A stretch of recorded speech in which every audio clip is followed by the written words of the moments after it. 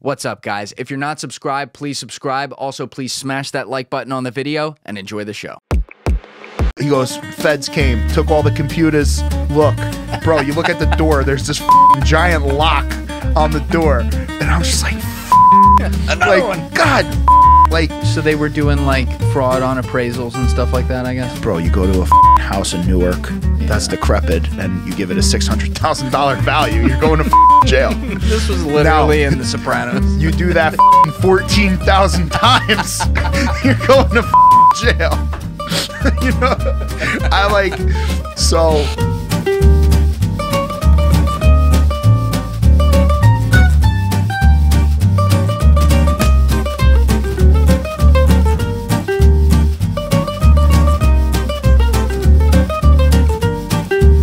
see the video of that shark eat that dude in Egypt? Dude, that was like oh my horrific, man. And it seemed like no one was like I don't know, just I guess help can never move fast enough, but like then I'm googling like dude, where? Cuz it wasn't I don't think the Mediterranean that would happen. It might have been It's the Red Sea. side, yeah. Yeah. Yeah, it was like down on that. The Red Sea, I guess, is like kind of an inlet. Yeah. In a way. What's Damn. that connect to? The Indian Ocean or something like that? good lord, man.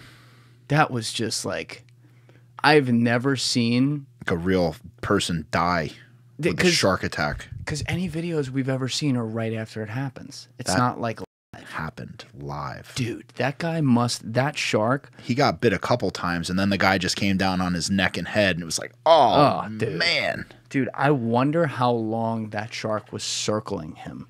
Oh, by the way, if your thing goes out, I just see you. If it goes out, just go like this. It's not affecting the audio. But I wonder how long that shark was circling him before it actually happened because there's no one else in the water. And for people who haven't seen this video, I will put not the video in the corner. I'll put it bl- like blared out because we'll get demonetized. You have to look it up, Shark Attack Egypt. But like the girlfriend, he was what s- 50, 60 meters out, and then twenty looked meters really from far. like that's Yeah. I don't like that, dude. the. Dude, I don't like that. it was. There was there's another angle of it too. I don't know if you saw that, but there was a woman from the other side of the dock who was like screaming to get swimmers out. I, I I watched the video with no volume because I'm like, this is hard enough to watch. I don't need to see some other person yelling, screaming. Dude, so you didn't Oh, dude! At the end, when it, the sh- water comes up, it comes out and just f- bites him in the like, like the head and neck. Right at the end, that's when like he goes under. dude, he was screaming for his dad. His dad was standing right there on the so off the left of the screen. There's Uh-huh. a dock, and his dad had to sit there watching this thing because there's nothing to do. You can't you you can't do anything. It was like a tiger shark too, right? It's like a 12 foot tiger shark. that's like the. I mean, in, I don't know what's worse. Apparently, tigers are really bad. Bull sharks are really bad. Yep. Those are like the two worst. Um, yeah, they don't have a discerning. I know tigers don't have a discerning palate, so like they can't. They don't really like taste stuff. They can't tell if they don't like what they're biting into. And I think bull sharks are pretty similar. But either of those, that's always what you hear. It's very often a tiger or a bull shark. But there's a video of the shark shortly before. This was like on. I'll put it behind you on the screen. I'll put I'll put this one in the corner because it's got no gore. But if you look right behind you, this is the shark. About ten minutes before, it was on the, it was on the shore, and guys were like tiger, tiger, tiger shark. And then it swam over, and I guess this guy was swimming with his girlfriend, and it must have just been circling them because everyone else got out of the water and it, and he and he was pretty far out of the water so he must have just been stuck there with this thing and then someone saw it and was able to get a video but that that was the worst like I was like sick to my stomach watching that thing I'm I'm good with the pool, man. I'm good, I'm good with the pool. Like, you know what I mean? well on another note I I actually when when we got connected by the great Chaz Gotti last month who unfortunately got in a car accident today so he couldn't be here he's going to be here with It us was a parking lot accident. We don't want anyone thinking he was severely injured. It was some mom with a bunch of kids, probably getting yelled at by her kids. Chaz said that there was like six kids in the car. Yeah. She was driving fast in a parking lot. Um, I have two kids. Um, kids always lose it in the parking lot. I don't know what it is, and you just want to get the f out of there, man. You just want to get out of there. Yeah. So- Well, he he got hit with six. He's all right, but we wish he could. He was going to be here in studio with us, but when he had connected us, I was looking up some of your stuff afterwards because I've been a big fan of your marketing for a long time. The, people can see it on your shirt right now Yeah. if you hold that up towards the camera, but your you would just get billboards and digital billboards. I mm-hmm. s- probably started seeing this five six years ago. Yeah. where it just pop up and it'd say "Eat Clean, Bro," and you'd always be like, "Damn!" Like it was so simple and beautiful. But I saw that you you started this after something entirely different than a shark going on with with the ocean. But you were you were from where Hurricane Sandy got hit Yeah. like the hardest in New Jersey. Uh, yeah, pretty much. Yeah, actually, yeah, I guess so. I don't like. I guess I can't really say like hardest. Like, it's like if you lost your house and someone else lost their house. Like, it's like how do you compare with like? yeah, it's all like, bad. Like, dude, this house is gone. like uh, the whole street was gone. Um, you know, like I don't know in terms of like you know where I grew up was like low income, so um.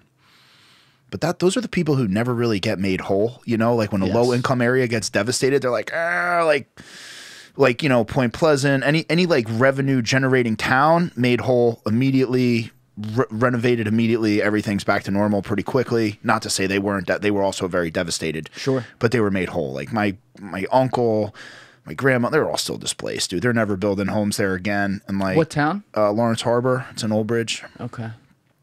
No one's, you know, they're who the, who the f- knows. But yeah, man, it was a horrible. um Yeah, I guess I guess like that was the pressure cooker. That was that was the moment the tank spilt over. Yeah. That was the the rocket. So you fuel. you just never you you saw that and you're like, well, I'm never gonna let that happen to me. I don't I don't want to be in a position where I'm at the mercy of people having to get rebuilt. Yeah. Whatever you want to build your own thing. Yeah, I was 26 and I remember being so depressed. I was so um just like as a man, you know, like I didn't feel like a man. Couldn't help my family, couldn't help my mom, couldn't help my grandma, couldn't help anybody. You know, I was living at my buddy my buddy Paul's house at the time. He was letting me squat there. I was like a squatter at my buddy Paul's house. And I was just so upset, you know? Like it was such a horrible thing, like a, natural disaster that occurred and like I was unable to help like financially. So like it was What were you doing at the time? bartending. No. I was a bartender, yeah. Had you ever like cooked before? Was that like a thing? Yeah, so I I used to cook. I started So essentially, man, the prequel of E Clean Bro started in 2005 and um I was training for a bodybuilding show. I was in really great shape and somebody asked me what I ate. I didn't think anything of it. I just I just thought um yeah, I told him I said, you know, I eat chicken, I eat sweet potatoes and broccoli, you know. I was 19 years Yeah. old.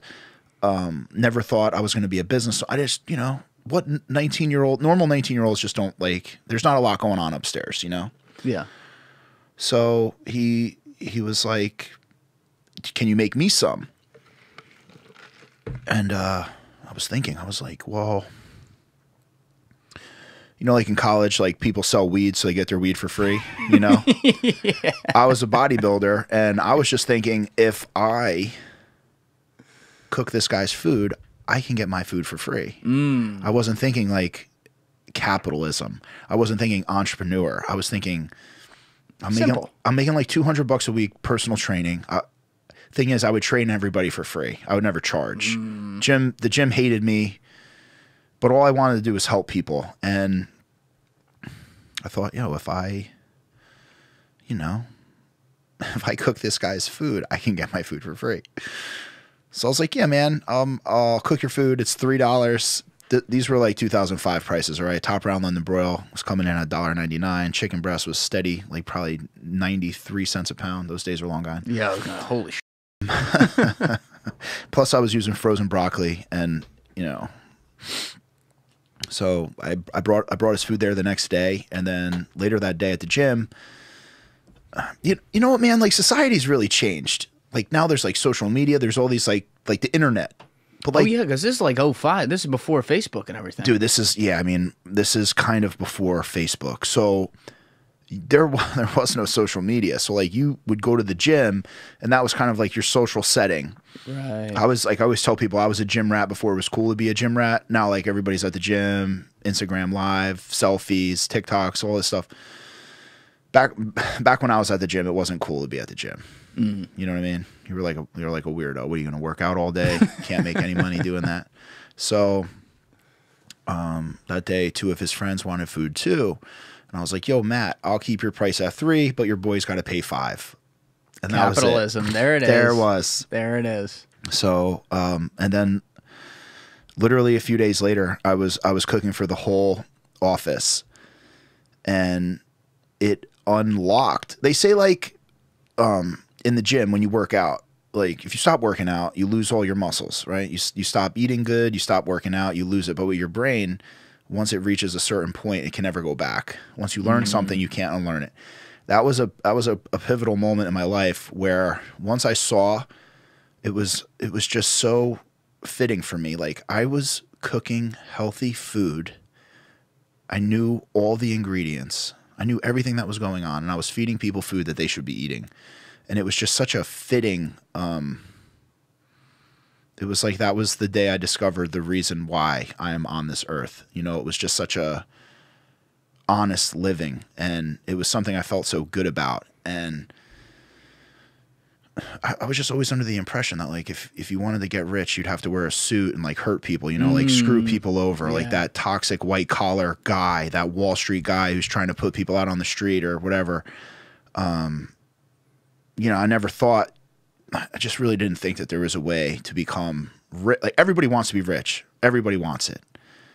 But then, like, how do you get it? And then, how do you get it in a way that's mutually beneficial to the world and society and people, right? Because that's like the real goal you want to be able to make a living, an honest living, help people, and also, you know, in the word whatever, rich, whatever. Had you ever had like some other type of career that as a kid you were like, oh, I'd want to do that, and maybe I'd get rich doing it? Uh, yeah, like I was never. Like, the thing is, dude, I was never motivated by money. It never, never really talked to me. So when I was like helping people lose weight, when I was, you know, helping morbidly obese people lose lots of weight, it was like fulfilling. It was this like it was it was what I was meant to do. So I had started cooking for the whole office, and I had gotten so many orders, I uh, I imploded. So like I was cooking out of my dad's house.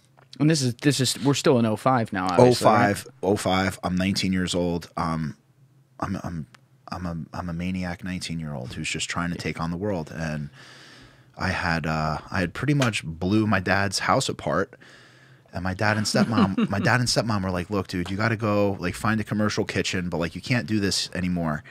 And I, I was like, I don't know, dude. I just I took it as like this epic loss where I was like losing my kitchen and and I had uh I had like I had like shut down the shop.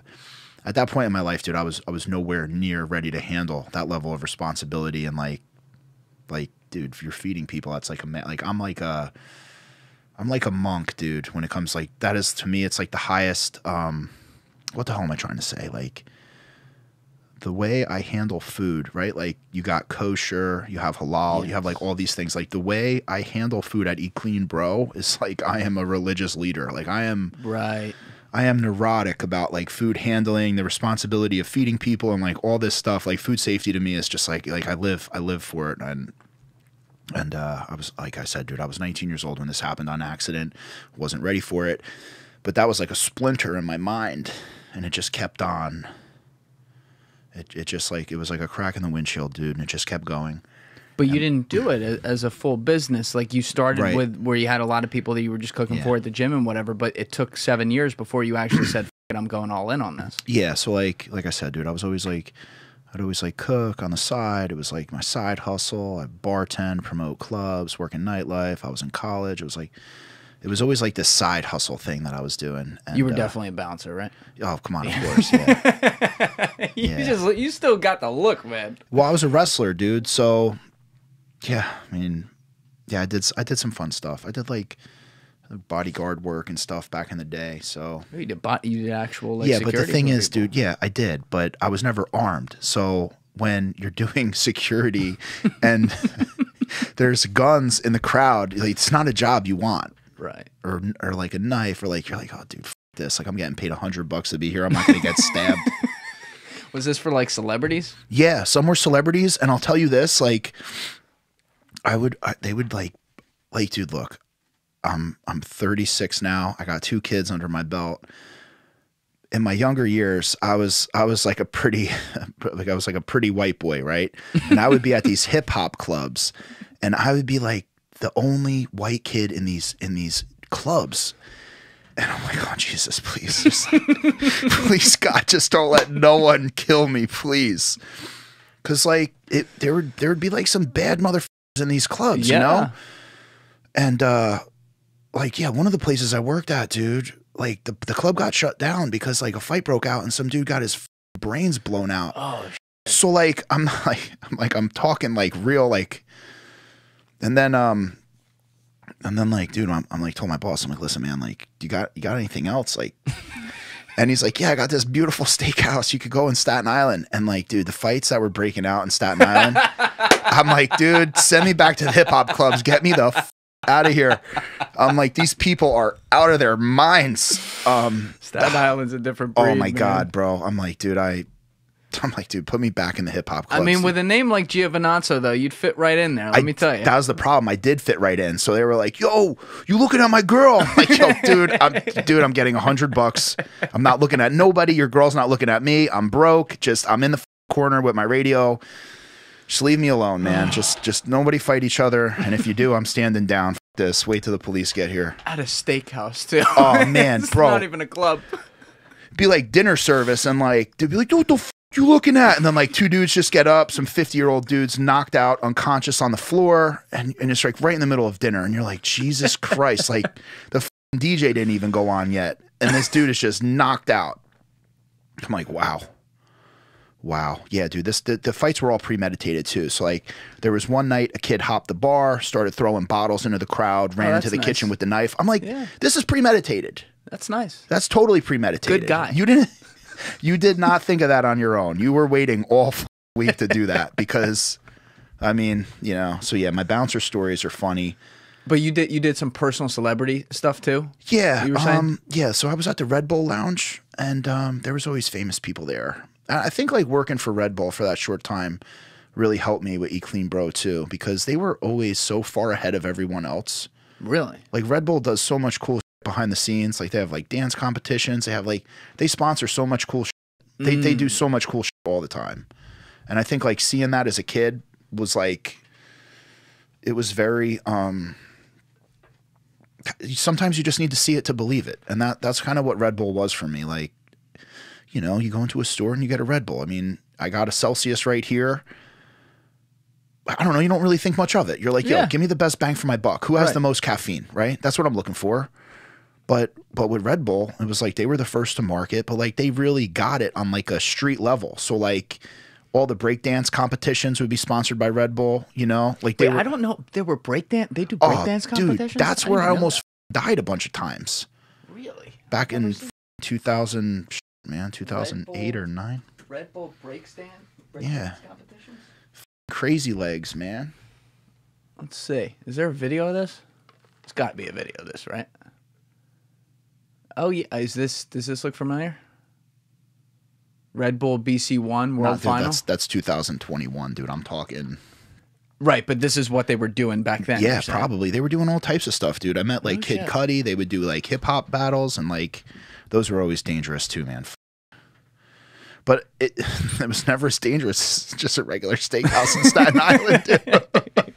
For people that aren't like from New York or New Jersey and don't understand what you're saying there, just look up Staten Island, see if you can find some stuff. It's on just on the most. internet. It's dude. What do they call it? It's the fifth borough, but what do they call it again? I can't even remember right now. I got, I got, I got. Lo- listen, I got, I got big love for Staten Island. I just like, I don't want any problems, dude. Just, I want to come in. I want to eat your pizza. I want to eat a couple. You know, I want to maybe go to a deli or two, and um, you know, I'm not looking at your girl, and I don't want any problems. All right. Fair enough. So th- basically, this whole time, it sounds like you're doing jobs like that, maybe a little personal training for seven years, and then Yeah, dude, you're I'm- like, I'm were you still cooking at some Bro, point? I'm a total. stop? I'm a total loser for like seven years. Mm. Just like networking, but like as the years progress, like like dude, like here's a funny story. This is like my life summed up, right? One of my one of like my my top performing affiliates. They're they're like a husband and wife duo. The husband, back in the day, we're at this like we're at this high school party, and the kid's little brother is about to get jumped. Well, he is actually getting jumped, and it's like a twelve on one. And the problem is that this kid's like 105 pounds. So like I jump in and I and I pull the kid out of the fight because I'm like, dude, I'm not letting a 105 pound person get jumped by 12 dudes. One kid had like a broken leg. He was like whacking him with a crutch. I'm like, I've seen enough. I'm like, dude, you fucking, you're fucking hitting this little kid with a weapon, dude. Um, so anyway, I get him out of there. You know, Randy, Randy's pulling up. He's all juiced up. It's fucking Jersey, all right. Dudes are dudes are juiced up. They want to fight. Of course. And uh, of course. So Randy's like, where are they? Listen, Randy, like, there's 12 of them. I'm like, yo, your brother's all right. You know, I got him. I got him out before anything really happened. I'm like, but if you go up there, that's on you. I'm like, I'm not pulling you out of this too. I'm like, just, just get out of here. No one's hurt. You know, call it a night. And that was just like a, a, a bizarre favor. You know, like I didn't have to help his brother, but like I did. And then there was this other time at the gym. One of my buddy's friends, like I, I would like I would just I've done a lot of fucking nice things for people over the years. It's good. Well, yeah, because like when you start a business, like you really need to you really need people to pull for you. You Fuck need yeah. people to like you need friendships because like it- Karma, man. It's good yeah, karma. but I didn't know any of this was going to happen. You know what I mean? Like when when my boy Jesse called me up to go. these are these are like some Jer- Jer- Jersey war stories. We love that. This is a Um, New Jersey podcast, so we, we got to remind people. Hit me. I don't even know how to begin this story, man. It's just there's basically, bro, there's this fucking dude Anthony. He's all juiced up. He's got like his wife at the gym, blah blah blah. They're going through this terrible divorce. He starts getting all like fucked up all the time. Takes all these pills. He gets into this horrible car accident on Route Nine. He's explaining to the cop that he was making a left on. He was at the at the stoplight making a left on Route Nine. In New Jersey, there's jug handles. You can't make a left. So mm-hmm. like at that point, dude, he was in the emergency room, stripped down to his tighty whities, and his shit his pants. All right. So Jesse has me go, and he's like, "Yo, kid, you got to go get Anthony. Like he's in bad shape. Like just go get him. Get him from the hospital." but like he was handcuffed to the hospital bed, and uh, I'm like, the cop. The cop is listen, dude. You're in a small room, and there's this big juiced up motherfucker who shit his pants, and there's this fucking clump of shit in his tighty whities, and you're just like, oh god, it smelled horrible. Like I wanted to get out of there. The cop wanted to get out of there too. Oh, Cop's like, listen, this guy's got like a fucking DUI. If he leaves this hospital room, like it's on you. I had to Oh, like so sign this. hammered when he did this. Yeah, I had to sign the. like, I, I don't know. Like I signed this waiver for him. Like I, I fucking should have never signed that waiver, dude.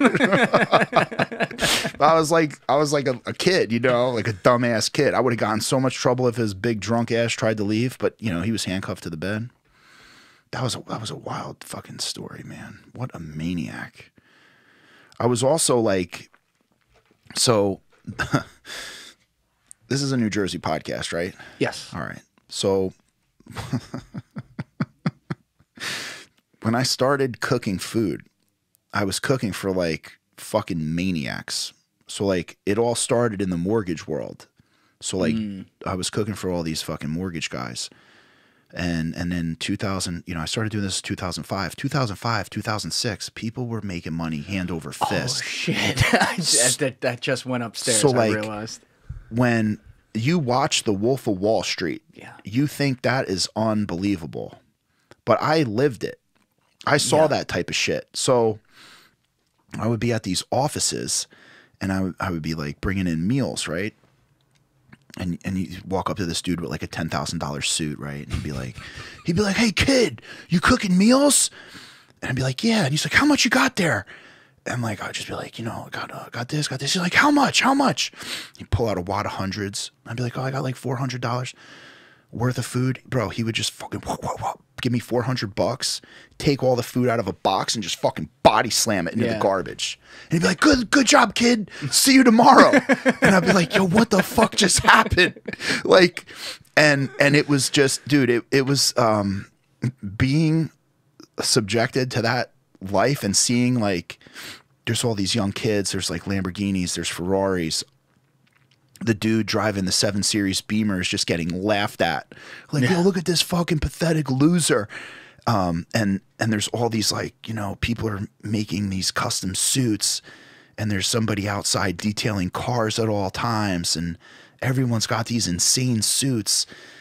I'm like 19 20 years old dude. My fucking eyes are getting blown back through like my head like with all this jersey and these are all like brooklyn street guys coming into jersey like That's so the first bad start. Oh, dude. That's when you know it's a problem.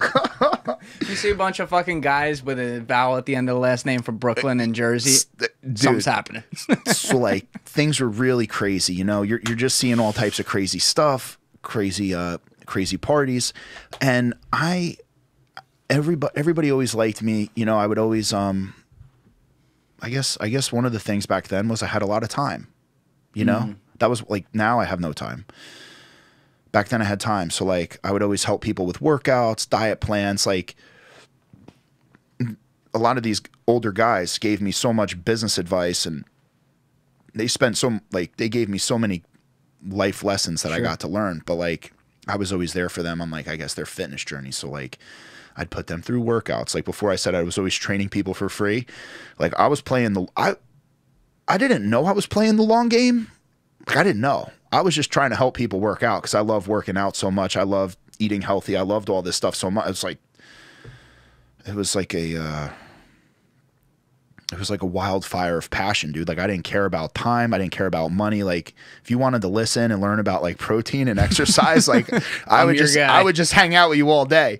So um and that's what I did for years, and I, and I hung out with a lot of these guys. And but then like then the mortgage crisis happened. then the crisis happened, and um and then and then shit started hitting the fan. I'll never forget, dude, because it was like it's a wild time. well, it was like they start like basically they always say like you got to cut the fucking head off the snake or whatever, however the saying Yes. goes. So it was like the big dog went down, and you're like, oh fuck, like the you know like the boss, like dude, you know, Like got arrested or oh yeah, dude, feds would come in, fucking take all the computers. So oh, bro, oh wait, what what else was going on here then? oh dude, people were there was a lot of fucking crime that occurred. Well, we know this about the financial crisis, but you don't hear much about guys who ever got arrested because they didn't charge a lot of people. They Oh, charged the man. I think they charged. They didn't even charge the countrywide guy Mozilo, did they? Um, I have to look Well, that it, up. it it probably all depends on like. There's a lot that goes into these things, but like was he doing like appraisal? Uh, I know those guys went down too. I was involved. I was cooking for all of the real estate guys. So like, I had friends who were appraisers, who all went down. You know. Oh. So like, my buddy Paul. Paul would always be like. Paul would always be like, Jamie, you know that you, you just got to like help me. Like, you know, the chili, it's just too spicy. It's just too spicy. And I'm like, Paul, just fucking man up, dude. It's chili. Like, deal with it, right? And then like I used to give Paul meals, like 10 meals a week, every week. Paul was like one of my one of my guys. And then one day Paul just stopped answering the fucking phone. And I thought, fuck. He's finally had enough. the chili's too spicy. I'm like, fuck. I'm like, fuck, I should have listened to him, you know? Paul's in a jail cell. dude, months go by. I get this call from this number, like, yo, uh, do you see Paul? I'm like, yeah. He's like, really? I'm like, yeah, I was with Paul this morning. He's like, hockey Paul? I'm like, no, Paul Kushner. I'm like, I, I haven't seen hockey Paul in because it was like hockey Paul. So I haven't seen hockey Paul in uh in a while. He goes, dude, he got picked up.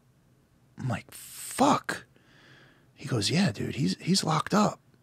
I'm like, shit. He's like, What yeah. were they? They so they were doing like fraud on appraisals and stuff like that. I guess. yeah, bro, you go to a fucking house in Newark that's decrepit and you give it a six hundred thousand dollar value, you're going to fucking jail.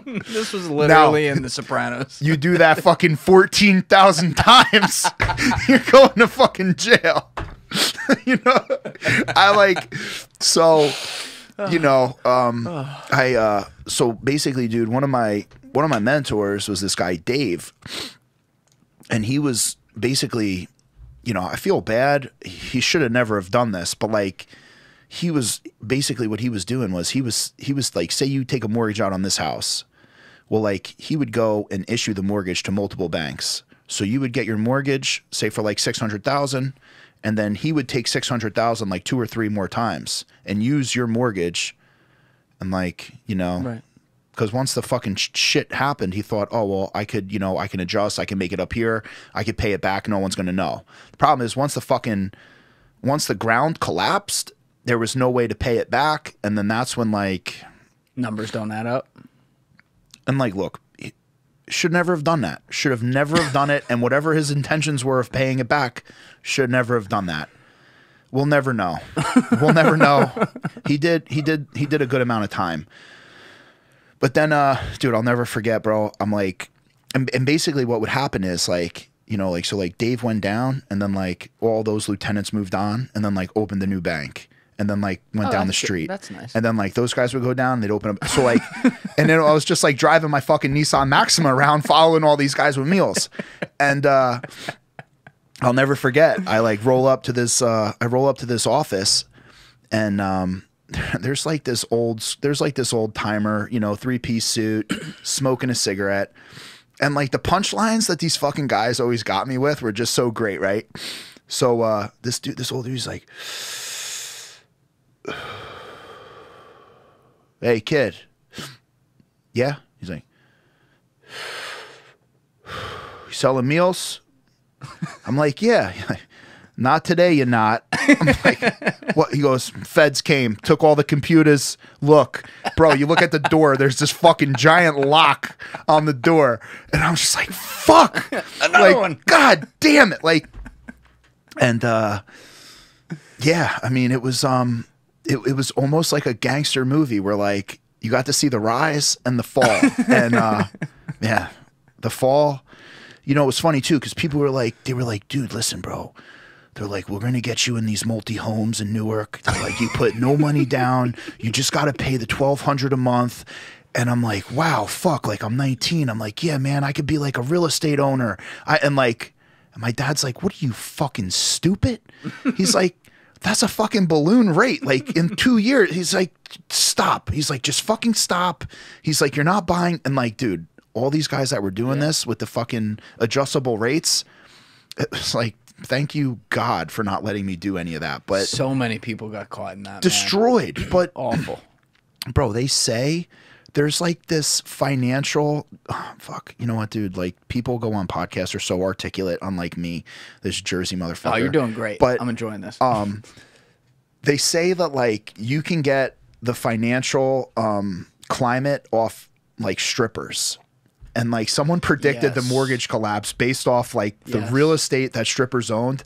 And I mean the writing was on the wall. Real estate. I mean, dude, you could. They, people were getting. Dude, there was no docs. There was no doc mortgages. You didn't have to oh, show income. You could have got a fucking mortgage and had no job. yeah. Yeah. And and it was like that's what was happening. And then you had a pre like. There is a reason that all these guys went to jail. There's this guy Jared Dillian, who was a legendary Wall Street trader, unrelated to the mortgage stuff, back in the 2000s. He, when everything crashed, he was at Lehman Brothers, which was one of Yeah. the banks that failed. He left and he continued writing a newsletter that he had written on Wall Street, and he would send it to everyone in the morning, and that he made that his career. So he's like this brilliant behavioral finance guy. So he's like emotionless and just looks at what's everyone doing and why are they doing it and what does that say about where I need to put my money. And he has this theory called the seafood tower theory. Mm. Where he says if you go into New York City, go into any decent restaurant and you start seeing a bunch of fucking seafood towers on the table, sell everything. Yeah. Because seafood towers are this like gluttonous show of wealth. They're, you know, six stories six stories tall, but you pay five, six hundred bucks for it, and it's really about eighty-five dollars worth of seafood. So people, when they're feeling complacent and feeling like they could just toss around money, they're buying seafood towers. So if you see a lot, that's it. But the stripper one, that's my new favorite. Yeah. So that's fucking great. Yeah. Oh man, I love seafood towers. They are good. Yeah. I gotta say. I haven't had them in a while. I guess. yeah, I, wait, I I dated a girl one time who had a lot of money, and she would get seafood towers at restaurants, and I did I did enjoy that. Yeah. Oh yeah, dude. The oysters always. I always sub out the clams for oysters. I don't know, man. Just um, I, I love New England clam chowder, but I can't get. I, I just I, I don't enjoy the raw clams. I'd rather just pump out oysters. You know. I'm with you. I don't like raw clam. I'm out on raw clams. Yeah, it's it's not my favorite. It feels weird. Something It's- about it. It's not know? my favorite. Yeah. Yo, linguine and clams all day, Yes. all day. Yes. Just not the raw ones. I'll eat them. They got to be warm and cooked. Sorry. I, I like them. I like them cooked better too. So, but uh, so back to um, Yeah, your business went up in flames when the mortgage did. yeah. I mean, um, well, um, yeah, a lot of my a lot of my good customers got sent away, and um, some good men out there. Yeah, and uh, you know what? I'll I'll leave you with this, man. This guy actually died, but just to tell you like how crazy people were back then. Um, there was this guy, fucking Elliot, and he comes up to me one day and he's like, "Listen, Jamie, like you know, I know." He's like, "Dude, I know you like to drink, you like to get fucked up." He goes, "But listen to me." He goes, "Uh, "You got to smoke crack." I go, I go, "What the fuck did you just say to me?" He goes, "Dude." just smoke a little crack. He goes, it sounds it sounds crazy, but like, man, he's like, there's nothing better. And I'm like, Elliot, I go, listen to me, man. I'm not gonna smoke crack. it was just the shit had just gotten, bro. Like, dude, just I guess life in general at that time, things have things had gotten so far out of control. I, I will never like what grown adult is like telling a 20 year like in what state of mind is everyone? You know what I mean? Right. Like, You kind of like. It seems like you're just kind of like a happy wanderer during these years. I was. I You don't really so, know what's going on, but you're just I taking was- it as it goes. I was so happy to be around like all these like young successful guys and there, there were there were a bunch of older successful guys who were responsible, but then there was like young lunatics, and it was like this. It, it was a pretty. It was a very, like I, I guess like my entire life has been kind of unique. I've always been in really unique places, but those were the those were the fundamental years, and then, you know, time went on, mortgage crash. I, I didn't like I didn't know that it was possible to do this. You know, in reality, E Clean Bro happened because my back was up against the wall. I couldn't get a job anywhere else, and like I had no other choice, and I had to make it happen. And in and in 2013, you know, January January 13th, 2013, my phone rang, and it was that same guy from the locker room in 2005 who asked me what I ate, and I just felt like it was like a sign from God. and this is a few months after Hurricane Sandy. Now, Yep, yeah. right after. So then he asked me if I was still cooking. I put my hand, I put my palm over the phone, and I scream over in the next room, "Yo, Paul, you think your parents care if I cook at their house?" and uh, and he's like, "Nah, man." He's like, "Do it." So I'm like, "Yeah, bro. Of course I'm still cooking." We're in business. Like I fucking lied. I'm like, "Yo, man, what do you want?" So over the years, like I was this wanderer, right? I had all I had a whole Rolodex of people who liked my food that I used to cook mm. for. So I got his order in and I just started going down all my food contacts. It'd be like it'd be like AJ food, Matt food, Tom food. And I just started going down all my food contacts. Like, yo, I'm cooking. Like, I'll be I'll be out, like, you know, I'll get you food tomorrow. Like, do you want anything? And I put an order in. And I did like 82 meals that week, man. right away. Well, dude, I had a roll. I had years of Yeah. contacts. Yeah, but got up and moving right away. it was. it- good. yeah, I mean, so it was. Well, the thing is, it was like I'm already cooking for Matt and four of his friends. Like, I might as well make this shit worth my time. So that's Yeah. why I was trying to like blow it up as much as I could. And then, um, Did you quit your job? no, well, I couldn't. So I had, I had worked, you know, the bartending job, and then I, uh, and I was cooking, and then I was kind of just, um, I was just kind of like begging and borrowing. My last day cooking at Paul's house, I was in a fucking explosion, dude. The guy fucking, What do you mean an explosion? dude, it was horrible. the guy Nelson that was helping me, right? Because I, I worked in restaurants, so like I was I was like the bar manager of this restaurant in South Amboy that I was in. So I go to Perth Amboy, I pick them up, we, we like cook, get it all done, and uh, bro, we turned the fuck. It was a propane. So basically, dude, propane propane is a heavy gas and it sinks to the floor. Oh, No. Nelson had turned on the grill, and it was all like the house was uh, like a propane house, and uh, he, um, oh my god, dude, he fucking never lit the grill. So he's like, "Yo, Jamie, light the grill," and I'm like, "Nelson, how long has the gas been on?" and he's like, "I don't know, just light the grill." Not too long. So like the Spanish guys, here's the thing, dude. When you work in a kitchen, like they'll they will eat you alive. Like you got to stand your ground and you got to work hard and you can't be a puss. So like you know, like I got actually my scars on my hands are kind of going away. So I'm like, yo, I'm not backing down. Motherfucker said light, it, I'm lighting it. So I, I I go like, I'll never forget, dude. The fucking grill lighter's like click click click, and then and then the fucking flame and it's like. And then, dude, the second I heard that noise, I was like, oh, fuck. And like, like all the oxygen is being fucking pulled. And then it's like, boom. Dude, the adrenaline hit so hard, bro. I thought, I thought I, I thought I blew my dick off, bro. The fucking, the doors, everything fucking exploded. I got hit in the leg with, uh, like the grill scraper hit me in the leg. All the fucking wood, the whole island, everything in the kitchen. Like there had been a stick of dynamite just, and I'm like, I'm like looking for the, like I'm thinking. And this is still at Paul's parents' Bro, house. Paul's parents. it was a fucking nuclear bomb went off in parents' house. So all these thoughts are running through my head. Like, oh my god, I was just in an explosion. I'm bleeding. My eyebrows are singed. My all the fucking all the hair on my arm is on fire.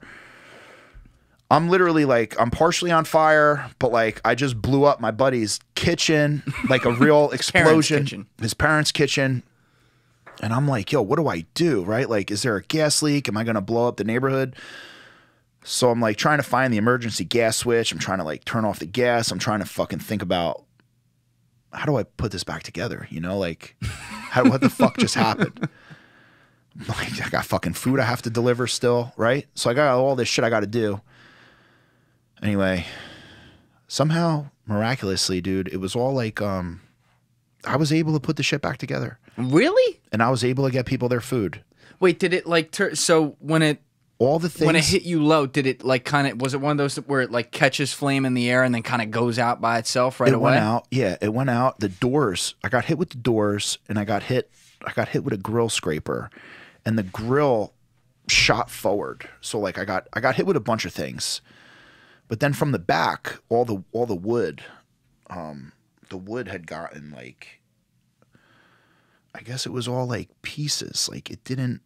It was it was very bizarre, man. It was like compartments got blown out. So like I just I put everything back together and it was uh Good day for Paul's parents. Didn't lose the house.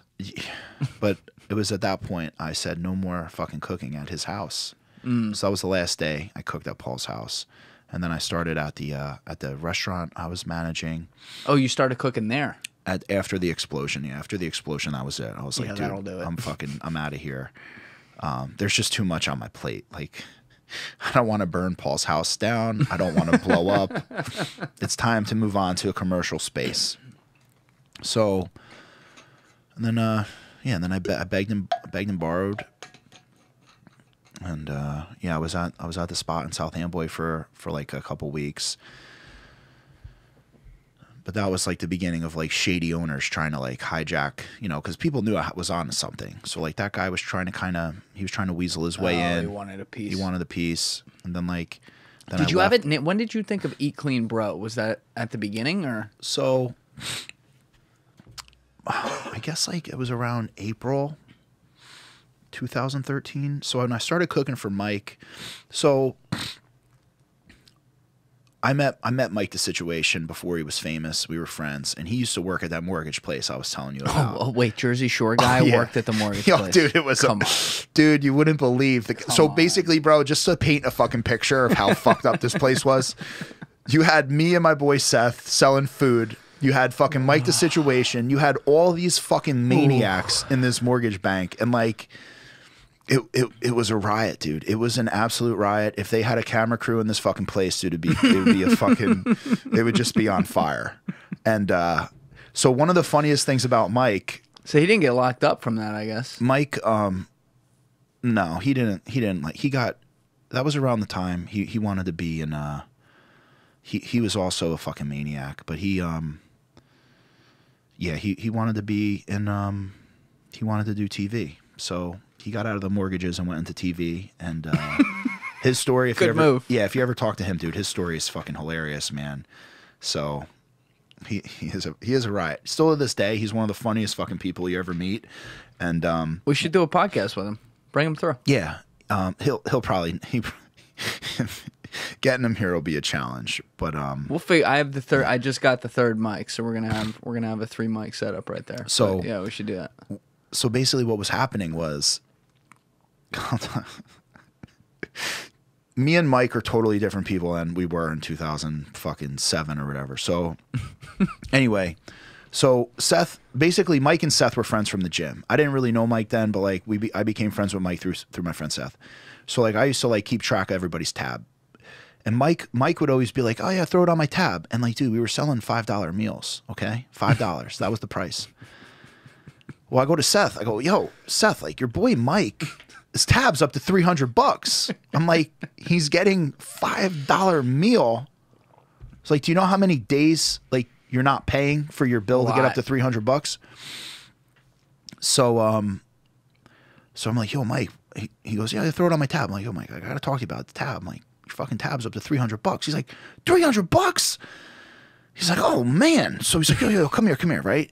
And uh, so he's like, yo, come walk out to the car. So like a lot of the times you'd walk out to the car and like people would pay you. Like I don't know why they didn't bring their wallet, but like it wasn't an unusual thing to go walk out to the car and get paid. It did. It wasn't unusual until like Until he asked. dude he pulls out this fucking like stolen navigation right like this uh this old school um what the fuck was it like Like a tom one- tom yeah, like yeah, before yeah. I, bro back dude this was before Yes. smartphones so like you have a navi and it was like a garmin or something. It was I had one. all Yeah. right? And he's like well um you know i got this navigation. You guys can have it. And dude me i just start fucking i just start laughing hysterically. I'm like dude i'm like bro keep the navigation. I'm like your fucking your fucking lunch is on us from now on. Like just don't yo you're good bro. You're good for one meal a day. All right? Like that's on like you are the funniest motherfucker i have ever seen in my life um and and that's something like i'll never forget and uh i i really fucking liked you know he- he was it was only a matter of time before he became a star because that fucking kid is he is He's got it. he's just ridiculously funny and Yeah. like I, I don't know what possessed him to try to trade a fucking there was two of us there was me and seth what are me and seth gonna do with one navigation Jerk each other off. yeah like oh yeah you get it for one week i get it for one week like i'm, I'm like dude this is this is fucking this is so funny But that's back when he's at the mortgage place. This is years ago, right? yeah it's like 2007 2008 And yeah. then when was Jersey Shore? Like 09? Something like that? it aired in 09 and dude God, that thing, that was the biggest show in the world when it was on. dude i uh yeah. It was um oh my god yeah it was fucking dude it took the it, took, it set the world on fire. What really bro so i'll say this. I think mike i think mike made the show. I think Snooki getting punched in the face like live television. That was good. that just those just mike and Snooki getting punched in the face was like that was like the shock value was just so extreme Yeah. that like I don't I think like that like I, like I told Nicole like I love Nicole she's the fucking coolest person ever but like I'm like dude you that fucking shot to the face just like cemented you guys as stars forever. She's like, yeah, you know, I took one for the team. Like, jeez, like that was just such a brutal shot. That guy really fucking Yeah. snuck her, dude. Yeah. That dude held nothing back with that shot. Yeah, and that And, was that was real, too. dude. And she's little. Yeah, She is little, dude. She's like fucking four eleven, like hundred Oh, she's pounds. that short? She is fucking little. Like I could know never imagine. I just never imagined like hitting a girl, but like hitting hitting Nicole, like she's so small, dude. That is just such a fucked up. Like she's so small, and that dude really fucking wound up. Like he fucking looked like oh my god. What God, did what, what what caused that again? She was just like destroying him pretty bad. Like it was, he just couldn't live with it. He was being completely humiliated on television, and then uh Couldn't take it. yeah, no, he couldn't take it. But uh Tough So- luck for him. so.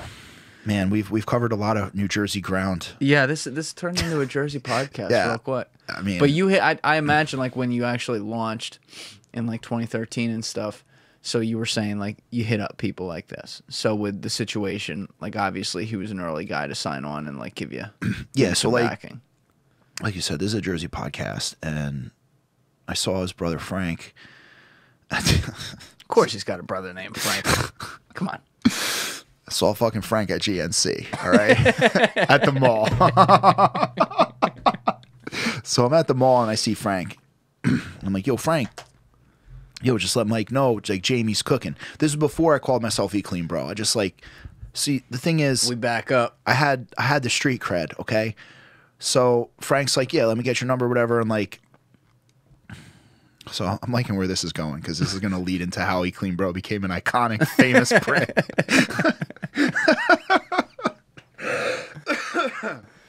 oh, dude, we're on a fucking roll. So Frank was like, yeah, you know, I'll get your number. Like, I'll talk it over to the family. So Mark is like the leader of the family. so Frank gets me a meeting with the family, right? So like it's Mark, it's it's fucking Frank. We're in this conference room, and like they're all like, we're all just like negotiating and shit. I'm gonna start cooking for the whole family. And uh whatever, I think like my price was at like seven fifty at the time. Mark was trying to get me down, and I'm like, yo, Mark, like, it's just me, man. Like It sounds like a drug deal too. it- That's it's always yeah i know i know i'll tell you yeah i've had i was doing custom meals for a while and then like i, I met up with this like giant fucking dude and uh i stopped basically dude i stopped like kind of doing custom meals simply because if you do a scoop cup of rice versus like a weighed cup of rice you can get like a different result and this dude like broke out the scale and started weighing the rice and i'm Oh, like bro like i've had enough. Like i'm fucking done. So like he beat me for a giant order because he like dude it, it did go down like a drug deal. It was like behind it was in the parking lot of a gym and i was like yo dude fuck this guy. Like why am i doing this? And like like whatever. So now if i ever do anything custom related which i don't but like it's all down to like the fluid fucking ounce or how much the fucking ounce weighs you know like eight ounces no discrepancy Oh my god. Oh, it's so annoying. But uh so yeah, so I got the deal with Mike. And then Frank was like they they had this show they were pitching and you know who's that um who's that like really funny Asian comedian? He's always like breaking balls with like how Chinese parents are to their kids like, "You not doctor yet?" or like, you know that guy he does those reels are really funny. Is that the guy Like, he worked- in Silicon Valley? I, he's like, he is nine years old. He has three jobs. He has 23 years experience. And he's like, how is he nine with 23 years experience? He's like, three jobs, nine. Like, anyway, but basically, dude, Jimmy O. I don't, dude, he's really funny. All of his shit is super funny, but This guy, I'll put him behind you. Um, that guy, no, no. different guy. Okay, we'll find it later. But, uh, but anyway, my, my dad's, my dad's like an old school Italian guy, dude. So like, You don't say. he was always super hard on me and I told him I'm like yo man I might I might be on TV and he's like well you fucking idiot. We're gonna have to you know we're gonna have to get you insurance because it was always just like I was cooking for my friends and it was like super small. So that's when like you know he helped me out. He helped hit me up with uh like LegalZoom and that's when we started to come up with the name. And I didn't know what I wanted to call it. I was kind of scared to call it anything because I had failed so many times. And he was like, you know, why don't you call it E Clean Bro? Oh, your dad thought of that. Yeah. I'm like, all right. I I was like, I liked it because it was Eats Clean Bro and it was easy to remember and spell. Yep. And it, it was a real it was like a real like first impression of like who I am. Yes. You know what I mean? It wasn't like I was hiding anything. It's very down to earth. Yeah, but you also got to remember, like now you got like slutty vegan, you got egg slut, you have all these like racy names. Mm-hmm. Before 2013, there was no like nobody was taking Yeah, a shot yeah. at like being a fucking wild name. Like people thought I was out of my mind to call myself E Clean Bro. Um, you know now like. You know, like there's like big gay ice cream and stuff. Like there's all types of crazy names that are They, just first they call you crazy, Right. Then they want to do it. there's a lot of edgy names and big big gay ice cream may have been before him i don't actually know but but it's new york city so like you could i'm pretty sure that they're they're like ice cream trucks in the city. But anyway um so yeah my dad was like e clean bro. People thought i was crazy. We got the domain name which i didn't think i was going to get that domain name but nobody was crazy enough to call themselves e clean bro in 2013 so um, yeah, we got the name uh, like a year or two later, got the trademark, and uh, it was all because we were anticipating like being on a TV show with like Mike the Situation and his family. What was the he wanted? So he was pitching like a reality show for his family on like MTV or something. No, or- it wasn't MTV. It was um, God, what fucking channel was it? Bravo, No, it wasn't Bravo. It was like a uh, VH1.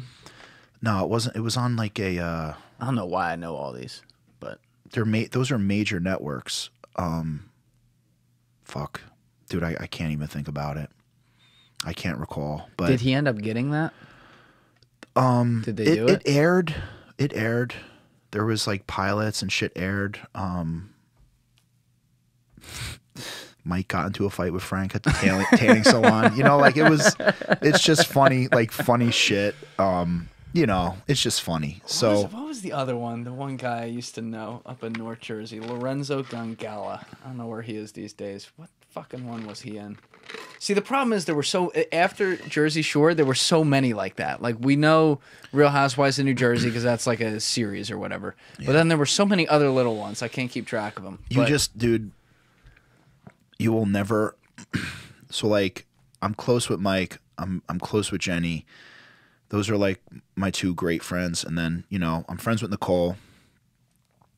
how's but, she like- doing these days? I, I love her. She is the coolest fucking person ever. So is Jenni. So is Mike. But like, like Sammi too. I haven't like I haven't uh I haven't spoken to her in a while. But like, like you can just never reenact. Like you never you you just never get that cast again. Like the first time I met Ronnie. He was like covered in like this road rash because like his girlfriend like fucking ran him over in a car, and you're, you're just like, like Ron, what are you fucking doing, dude? You're a multimillionaire. Like you made it. Like you're getting into these fucking fights with your girlfriend. She ran you over in a car. Like what? Yeah. Like, but it's like, dude, it's just what makes them so entertaining. Like Lovable. you can't look away. Yeah. You can take them And out of it- Jersey, but you can't take the Jersey out of them. Like, dude. Angelina's on a fucking ring camera throwing chicken nuggets at a handicapped person. Like, like how do you like? And that's Do we have a video of that? Ah, dude. I, I got it. I'm sorry. You're giving so many good ones. Some of these got to be on video. I'm, the ones. I'm just on saying, video. like, how do you not? How do you just not tune into these people, man? It's So she was throwing me. I guess she didn't know they were handicapped. it was like a handicap park. Maybe she was parked in a handicap Oh, spot no. and she was throwing chicken nuggets at somebody. um, she is fucking funny, man. It's just, it's just, it's just so entertaining. But like, when did you start to realize though that because for people out oh, there who I'm so sorry. The segue, I forgot, dude. What was the segue? So basically, man, um, what had happened was I started cooking for Mike. My buddy Sean on Facebook checked in to the Olympia. Now, like, I went to Frio Borough. We had a lot of, we had all these great friends in high school, but like, Sean never played sports. He was just like the token Indian dude, friends with everybody, sweetheart. Everybody loved Sean. But like Sean was not an athlete, he was not a bodybuilder, and never tried to be one. It wasn't like he was trying. He just hmm. never worked out, never gave a fuck about bodybuilding. I was a total meathead. My life was dedicated to lifting weights, eating chicken, eating fucking steak. So I hit up Sean and I'm like, dude, like, what are you doing at the Olympia?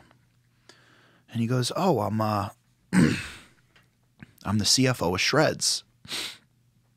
And this is 2013, and Shredz is the pioneer of influencer marketing. So it's like every single fucking person you see on the internet now selling a product on social media was never like that until Shredz. Shredz was the first fucking company to bombard Really? the internet with re- like people like me and you. Shredz. I don't know if I remember that. Shredz Company. Shredz. S H R E D Z. Oh, EDZ. I have it as Z. S. Yeah. Got it. Shredz took a bunch of like normal people who worked out at the gym and made them famous on the internet. Oh, these are like diet pills and shit. Yeah. Yeah, wow. That's unsurprising. So, so what's really funny? So Arvin, Arvin was on the show, and I was like, I wish there was a way I could I could work with you. Wait, which show? I lost you for a second. Jersey Shore. Got it. Okay. Arvin, Arvin, like I think hooked up with Sammi in one of the seasons. He was like Mike's friend. Okay. They were at like Bamboo somewhere in Seaside, you know, all Always shredded. Seaside was the spot. Yeah. So so Mike and Arvin were friends and Sean got me in. So I drove up to Jersey City with some meals. I met Arvin. Sean's like, "Oh yeah, Arvin uh Arvin actually heard of you." So like Frank would save all the containers. That's Situation's brother. Frank. Right. So there was a whole pantry filled with like E Clean Bro containers. So that's how like Arvin heard of me. And Arvin was like, Frank, like, what are you doing with all these fucking containers? Like, recycle them or something. He's like, no, no, no. So like Frank had this huge stash of, and that's how that's how Arvin heard of me. I came in. Arvin really liked me. I started cooking for for like Arvin and and all the the guys at Shredz, and then he had all of the most like influential fitness people in the in the industry at the mm. time. So that's when I started cooking for all those guys. They started doing posts for me, and I started getting like pretty big traction online on Instagram. And it wasn't until I got introduced to Massy, who at the time was MankoFit.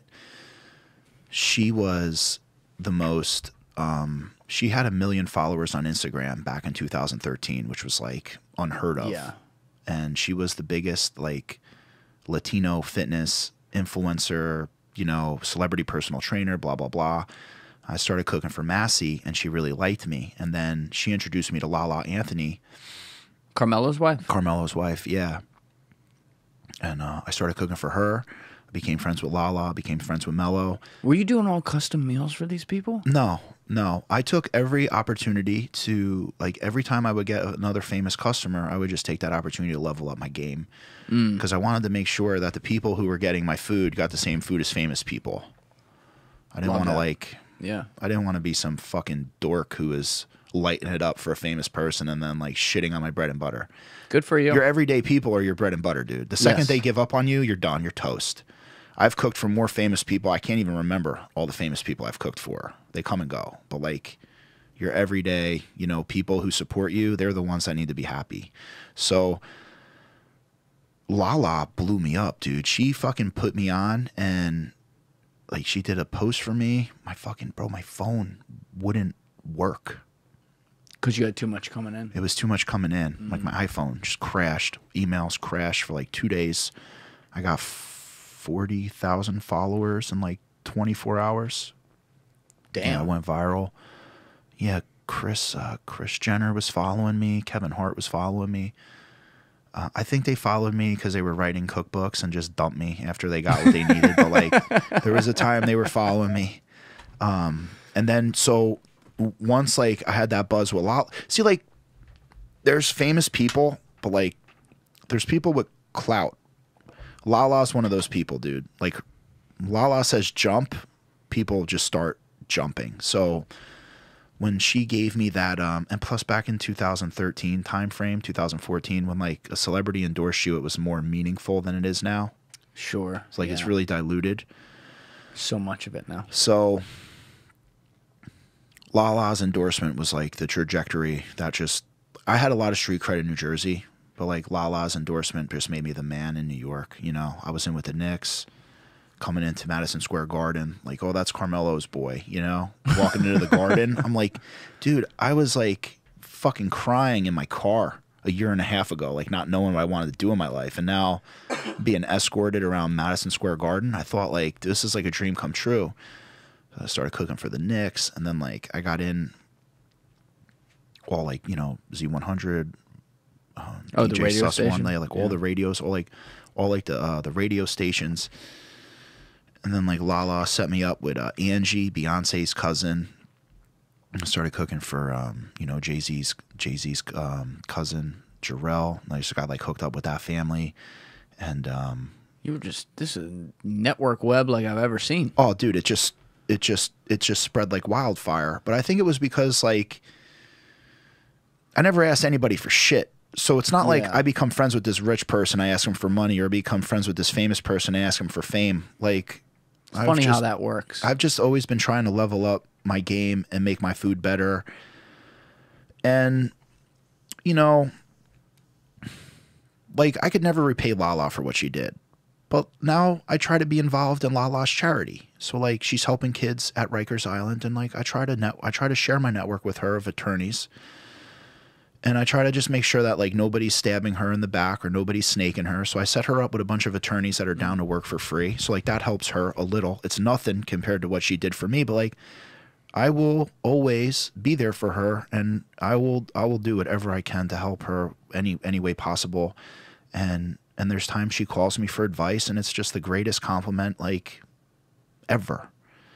Um it's incredibly humbling when like people like that call me and ask for my opinion and stuff like that. It's just like it's incredible. So Well, I think you're nailing it on the head though, because I said this word earlier in the podcast because it kind of relates to everything you're you're talking about with your story. But it's all it's all karma, man. I mean, like if you don't go out there just holding your hand out and asking people to give you shit, you know, and and you just go about your business and you do something good, Yeah. and and especially when you do it for a long time, and you know, you, again, you're not just tit for tatting stuff.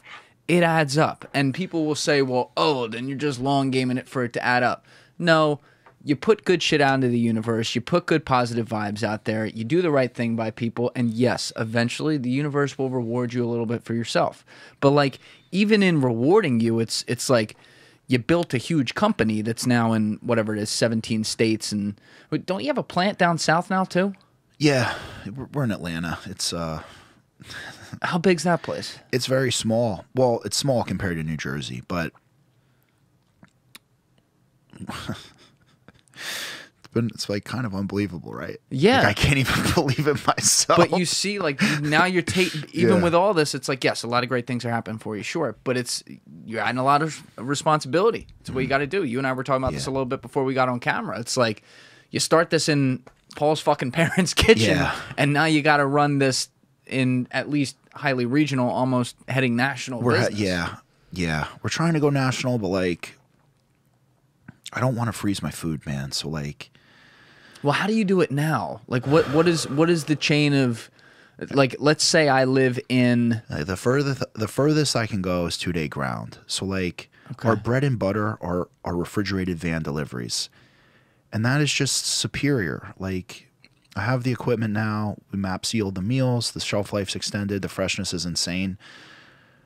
Nothing beats the refrigerated van experience. And when I was building this company, I always wanted like. There's two things that technology can never stop right? Like technology can advance. You have all this fucking, you have all these computers, you have all this cool shit here. Eating and fucking are two things technology can't replace. I'm being serious. And when you think about uh. eating, you bring it back to the milkman, old school milkman. I wanted to create an online restaurant where your waiter, who is your driver, shows up to your house, delivers your food, and follows up with you, and you get this boutique experience. And I don't think people ever realize how big Eat Clean Bro is because I'm I'm a humble dude. I keep it low key, but also because of the boutique experience you get when you're an Eat Clean Bro customer. I just don't think people can constantly. Like, there's just there's no like when you call the office. There's no like oh press one for this, press two for. Mm. Listen, dude, if you're calling my office, you're fucking you're pissed off. You want to talk to somebody. I'm not gonna wait. Like You are not fucking calling to be put on hold. I want to get you in touch with somebody immediately. The boutique feel with the driver, you get you get like this um So you're get- sending your own trucks out there. yes. Yep. Damn. Oh yeah, I know, man. It's scary. That's a lot. I'm just thinking about the overhead here to do this. It's very cool you're doing this, but Yeah, it's a couple million a year. that even seems low. Four million. That even seems low. Like you saying that. I'm just thinking about because all these people, these you're delivering food at least like once a week for them, right? Four times a week, yeah. Oh shit! You deliver by the day. Um, no, I mean, you people can get their meals like you can get 10, 12, 20, however many meals you want. The th- one of the things that made E Clean Bro, uh, one of the things that made E Clean Bro a fucking legend, like I, I pioneered a space like you could buy like Eat Clean Bro. I think was the first to market with like meal prep the way it is today. When I was cooking for my friends, I would let them order whatever they wanted, and I would just give them my best price, which I think at the time was like eight fifty or seven fifty or something like that. And then for strangers, I'd be like, "All right, you got to buy twenty meals, blah blah blah." I had all these like credits and shit. And then I learned that like people would buy the twenty meals, and then like they would get down to their last few meals, and then like their orders would start off big, and they would just get like smaller and smaller because they didn't want to like re up on the fucking on like the credits. Right. So like my big aha moment, which is funny because I don't know why anybody wouldn't just do this from day one, but like I was the first one to just offer healthy food, no contracts, no minimum. Uh, like everybody else was a subscription. You need to buy five fucking five days, three meals a day, two snacks for fucking six months, or you can get seven meals a, like seven days a week. And like there was all these programs and I had been a personal trainer and I had been bodybuilding and I had knew dieting for so long. Like I'm like, look, dude, I know what the fuck people want and I know what I know what they need. So, you know, just started started making these these meals that like help people live a healthy lifestyle, help them lose weight, whatever. And uh, once I got rid of, once I created the infrastructure, which like took me nearly a year to figure out, that was like I was off to the races. And then once all the celebrity endorsements started happening, it was just like like it was fucking out. And I was just playing catch up ever since. How long before you're doing like? Because at the beginning, obviously, it's more localized. Like, you don't have trucks at the very beginning, so you're delivering it all yourself. Yeah. When did you start with the milkman idea? Like, I'm gonna get my own trucks. One of the things I've always worked in restaurants, I've always been around chefs, and like this has been something I've been trying to do for a very long time. And like always been talking about like the superior method of handling is refrigerated van. I've been talking about this for a very long time.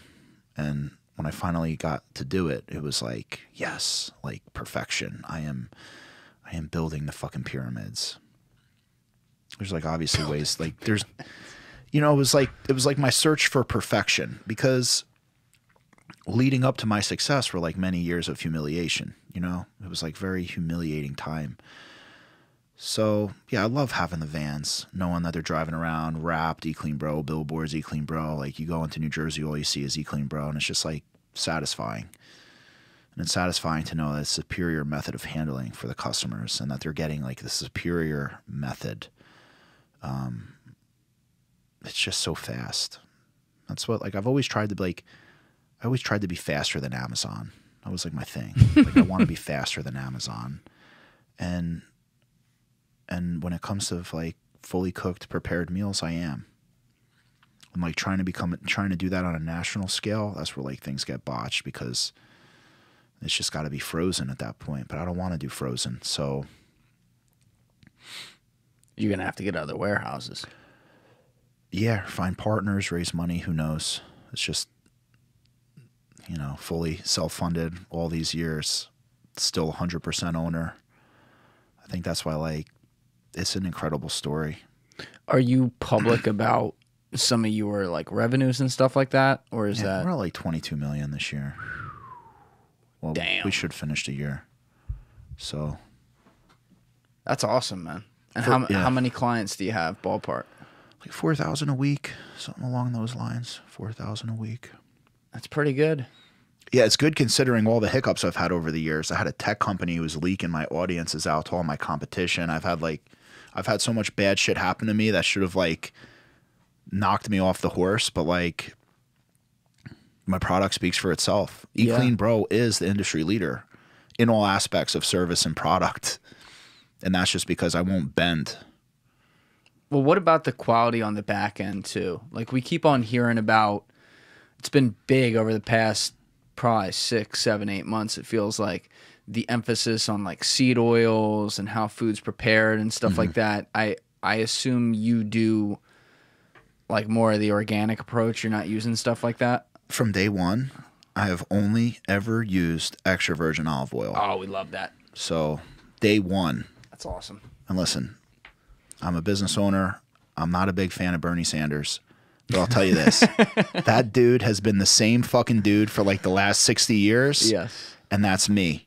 So if there's one thing I have in common with Bernie Sanders, it's like I have not fucking bent my beliefs in all this time with all this money, with all of this everything. I was supposed to get a deal. Was it Mario Batali got in a bunch of trouble and he got canceled? Yeah. So I was in Ohio at a warehouse and I was going to pick up his like sauce. I was going to be like, oh, it was such a big deal. It would have made me so much money. But I, like, I was like, no, dude, I can't do it. The ingredients, like, why can't you just pull these ingredients? Like, there was these fucking ingredients that were no good, and I had to like not do the deal. Good uh, for you. What am I gonna do, bro? Make a make a million or two dollars off a deal that's gonna like tarnish my fucking name? Don't compromise, man. I can't. Can never compromise, and it's annoying. It's like annoying, but it's what makes me a gangster. So it's like, I'm like I got, I gotta just keep going. Do you think like I don't know, I try not to think about the things I can't control all of, you know, in the world. Like you, you can't control the fact that you got to go to the food store, you got to you got to buy stuff there. You can pick out what you do, but there's going to be something in something. You know what I mean? But like I feel like I've seen a lot more doomsday talk about what we put in our bodies over the past year or two, you know, where they're talking about what's in the water that we get out of the sink or even the filtered water. They're talking about the seed oils, like I already brought up. You're, they're talking about all these things. Like, do you think they're, do you subscribe to any of the conspiracies of like, oh, they're just putting shit in our shit on purpose? In 2013, when I started Eat Clean Bro, child molester Jared was hustling weight loss sandwiches, and McDonald's was sponsoring the Olympics. And now people want to know if I take food stamps and if my salmon is wild caught. That's the same person, right? So, like, here's the deal. My uncle, right? My aunt unfortunately had like bone cancer. She died immediately. My uncle's mm. health was in the toilet. He was eating like a regular American lunch, white bread, ham, cheese, mustard sandwich. He started getting some salmon and some rice. I started feeding him because my aunt died and I knew like, you know, I wanted to help him out. His health did a total 180. The doctors were fucking blown away. My uncle's in the best shape of his life and I know E Clean Bro is legit as fuck. And if it wasn't, I would have gotten at this point, I've been around for so long. At some point, somebody be trying to fucking kill me, right? Yeah. all of my ingredients are clearly labeled. There was like Quest or one of those big companies were saying their shit was sugar free. I'm like, dude, look, you can make some sugar free some sugar free shit taste all right, but like you know, there's like a line, right? Like you're giving up something if it's sugar free, and they got in a lot of trouble because it wasn't sugar free. I think it was Quest. I love Quest. I love Quest too, and I, Fuck with Quest so heavy.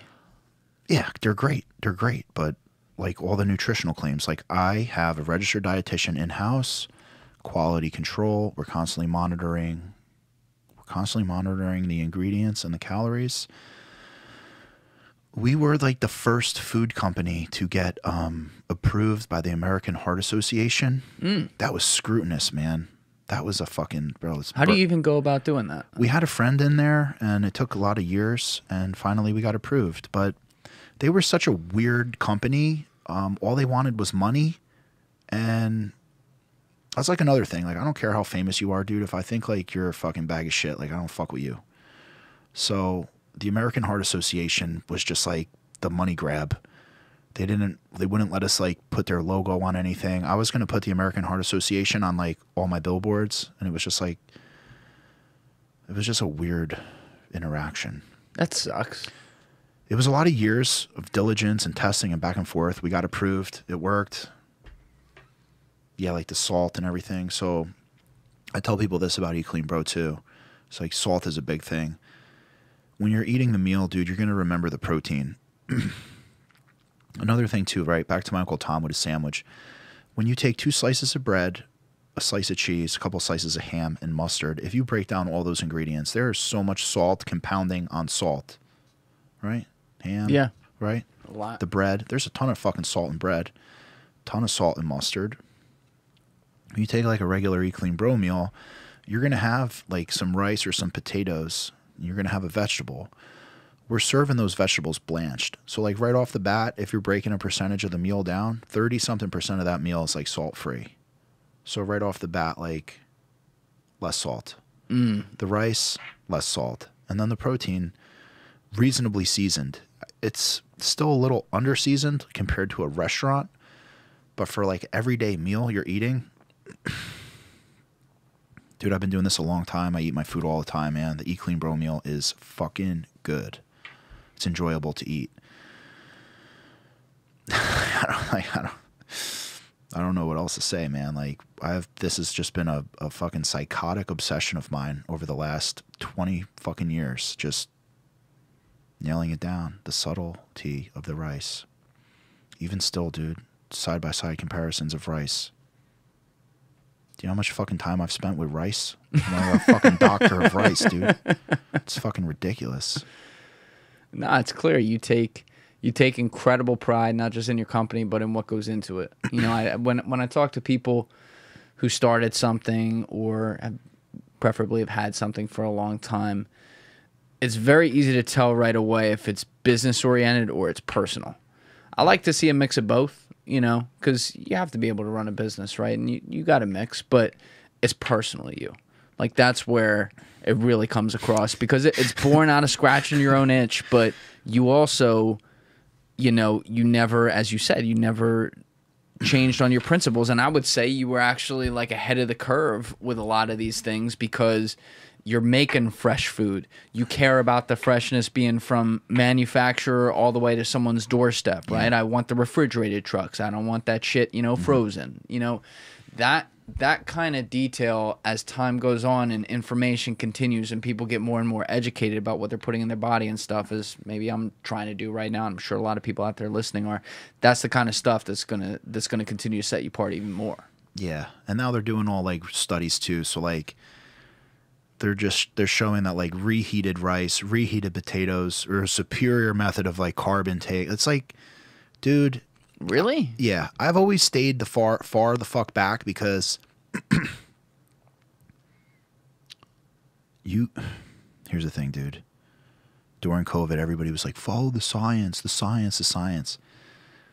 You with enough money Did you hear what I just said? With enough money? With enough money, you can prove or disprove whatever the fuck you want using science. Mm. Science is important, dude. I'm ab- I'm absolutely not denying that science isn't important. It very much is. But you have to use some science. You have to read between the lines. If fucking science says due to your like caloric intake, you could have a couple like you could have like two protein shakes and 13 fucking pop tarts and like that's all you get to eat per week, like you got to use some fucking like listen. Yeah, you know what? Maybe I'm hitting my macronutrients, but like come on. You can't fucking eat pop tarts and drink protein shakes all week. Like that is a bad idea. And then there's fucking jerk offs on the internet, like all these fitness influencers who they're they're when you got like beauty care products and like skin care products, they're selling a fucking dream that doesn't exist. Yeah. And most of these fitness influencers, right? Everything has gotten so saturated and everyone's trying to carve out their mark. I'm like, fuck it, dude. Been there, done that. Let these fucking lunatics eat each other alive. I'm out. Yeah. And the same thing back in the day, bro. My dad, right? Old school Italian guy. My dad would be like, "What type of uh, like what type of credentials? Like, well, what, what kind of nutrition credentials do you have? He's like, why are anybody? Why is anybody going to trust you? I go, Dad, I am selling grilled fucking chicken, brown rice, and brown and, and broccoli. I said, if the guy selling a fucking McDonald's cheeseburger doesn't have nutritional credentials, I said, I know every fucking ingredient I'm using. Does anyone who work in McDonald's know every ingredient they're using? No fucking way. No way. I said, I don't need nu- nutrition credentials. Like I fucking walk the walk. But you're also keeping it simple and you're not hawking other people's stuff as well. Like you mentioned the fitness influencers, man. The first marketing I did was in that for someone else who my, my buddy Kaan, who was a great guy and knew his shit and was actually going about it the right way. When I did that though, I had to watch. This is back in like 2016, 2017 on Instagram. Watch all these other fitness influencers and what they do. And the amount of fucking griftership and people who just, you know, maybe they're on the juice and they aesthetically Oh, yeah. look good. Great. You know, they're all on the juice, but like they aesthetically look great. And Yeah. then half the shit they're saying, it's like, well, wait a minute. That's not right. Or, you know, people are selling people their look. Yeah, Now, my course. my one friend gave a quote the other day. He's like, and it was a little bit of a generalization, but I would apply this to a lot of the fitness influencers I saw. He's like, if you're selling just your body and nothing in your mind, then you're saying that that is the priority or something like that. It was like you're saying that's all you have to Yeah. offer. And I felt like that's what a lot of that industry was and continues to be. And I find myself now, like when I go to look for workouts, and that's like the most common thing I'll do, Yeah. Mm-hmm. I'll just fucking go to Twitter or like go to Instagram and just search, you know, like arm day or something like that.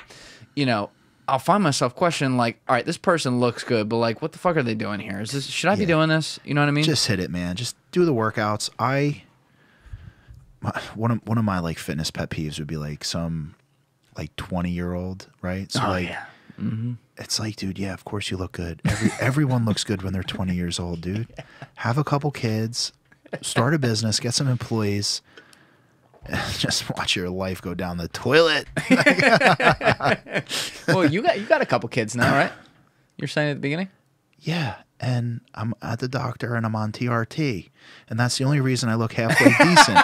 Otherwise, I'd be a fat fuck, fucking blob who wouldn't even be on this podcast. I'd be so fucking tired I couldn't talk, What what goes into the TRT? Like, how does that work? dude. and tell people out there what that is who don't know. All right, so it's testosterone replacement therapy. I go to Elevate Wellness in Parsippany. I get my blood work done. So, like, I don't want to say I beat the system, but I went at like the worst time in my life. Where so my son um, used to sleep in our bed, and we couldn't get him to sleep any other way. And it was like I, we knew we shouldn't have done it, but like it was it was fucking life or death for us. so for two years, I did not get to sleep for two years. Oh. It was horrible. I love my son, and the time we spent together. Um, he's a daddy's boy, and I believe because like I'm heavier than my wife, he would just always flop over to, onto me.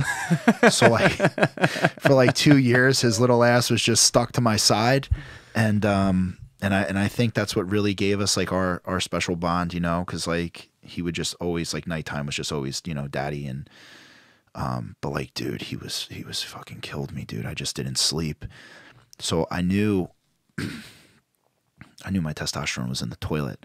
So I'm like, yo, now is the time to get my blood work done. Mm. And like my shit was low, dude. It was like 200 or something. So I got a testosterone prescription immediately.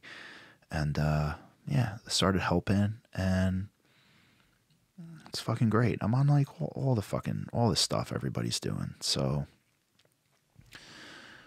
the testosterone, the aminos, the uh, the CJC, the BPC for healing. CJC. Yeah, it's like a it's like a growth peptide. Just helps with some of your your growth hormone. So it's fucking awesome. Helps you sleep. I'm finding, dude, the older I get, and not that I'm old yet, but like fucking everything hurts. um, sleep, man. Yeah. It all starts with sleep, and it all falls apart at sleep. So like, um, I don't know if we were recording when I talked about I did construction during COVID. I got eaten alive, but I, I uh, the quality sleep you get. God, you know what, dude? I'm probably not even qualified to talk, but like, if you're fucking listening, pay attention to your sleep, your caffeine intake, you know, the the sleep you're getting. It's like that is the fucking beginning of like what you'll be physically and mentally capable of. You're not going to go far without like the correct sleep. So like I am a maniac with recovery. I'm in the sauna 5 days a week. And I feel like it's not talked about, but like I do feel like the sauna helps metabolize caffeine because I find that at the times I do the sauna, I just way more restful sleep and uh, just way less anxiety. I'm big with um because at this point, dude, I have so many employees. I have so many people working for me. How many do you have? Um, Ballpark. like 125, 125. It's not that many, I guess. It's pretty big, man. It's a lot of mouths to feed. Yeah. So it's really my job to be calm, um, be calm, lead, direct. So, like, really, my mental state and like my vibe. I I don't know how else to put it, but like, I want to be like a good vibe. You know, I feel like people want to work for somebody who's a good vibe. Um, try to be a good vibe. Try to spread positivity. My company core values: um, positivity, respect, integrity, commitment, and excellence. So it's called the price, right? Pay the price. Are you paying the price? And we try to push the price. So, and it all starts with me. So the company core values is my language, and I have to show up and and live those values every day, which I do naturally. But like sleeping, man, big time. Yeah. need to sleep, dude. My son not sleeping for those two years, it was taxing. Yeah, it's you know, especially like you understand you've been at this for 11 years building a, a company, but you know, building this thing over the past three and a half years, there are so many little things in my health that have disintegrated. Oh, yeah. right. And That's okay. You're at the point now where it, it's okay if it does. You're sacrificing your health. But the thing is the that like term. right. Once you get to like this eight year mark, who knows? no good. Yeah. Yeah, like you're gonna come to a point where you reach your breaking point and you're you're probably not there yet, which is good, and just keep going. Once you get to that point where you're like, dude, I can't fucking live like this any longer, then you just take a step back and start like prioritizing your health. And some people may like see a lot of times people give advice they haven't fucking walked the walk. Yeah. You know what I mean? That has just gotten too fucking common, right? Like we have gotten too comfortable giving advice in areas we're not fucking qualified to. So feel like when it comes to starting something for nothing, I'm qualified to give that fucking Oh, you advice. definitely are. So For sure. So yeah, dude, fuck it. You only yo, listen, man. You only live once. You'll be fine. Fucking work as hard as you can, and when your body says that's enough, like I was, I was getting like these horrible ulcers. I mean, like I had gained so much weight. I had gotten so fucked up. I was in like physical pain all the time in my stomach, dude. I don't know what the fuck happened, but You your body stress. yeah, maybe. I don't know. It, it it was just like horrible, like ulcer pain. Your body will tell you when you've had enough. Your stress, your anxiety, all that shit. It'll it will tell you. Like last year, um, like I had just gotten into my new building. All of my equipment was breaking, and then like half my staff quit because like there was a nineteen new nineteen minute commute, which was like stupid. Whatever. They held me hostage. I had to give everybody like an extra four dollars a day or something. I know, I know, I know. I'm like, guys, really? You fucking did this to me for four fucking dollars? Are you kidding me? um, bro, I ended up in the fucking hospital. Mm. I was getting like this horrible. Um, thought I was dying. The problem with heart attacks is that like anxiety attacks and heart attacks have almost identical Yes. symptoms. So, so I'll never forget that. It's the Fourth of July. I'm hearing fireworks go off. I'm in the hospital. I'm watching Spider Man. I'm fucking pinned up. All these fucking IVs and monitors all over my body, and I'm just thinking, wow, dude. Maybe it's time to bring in an investor.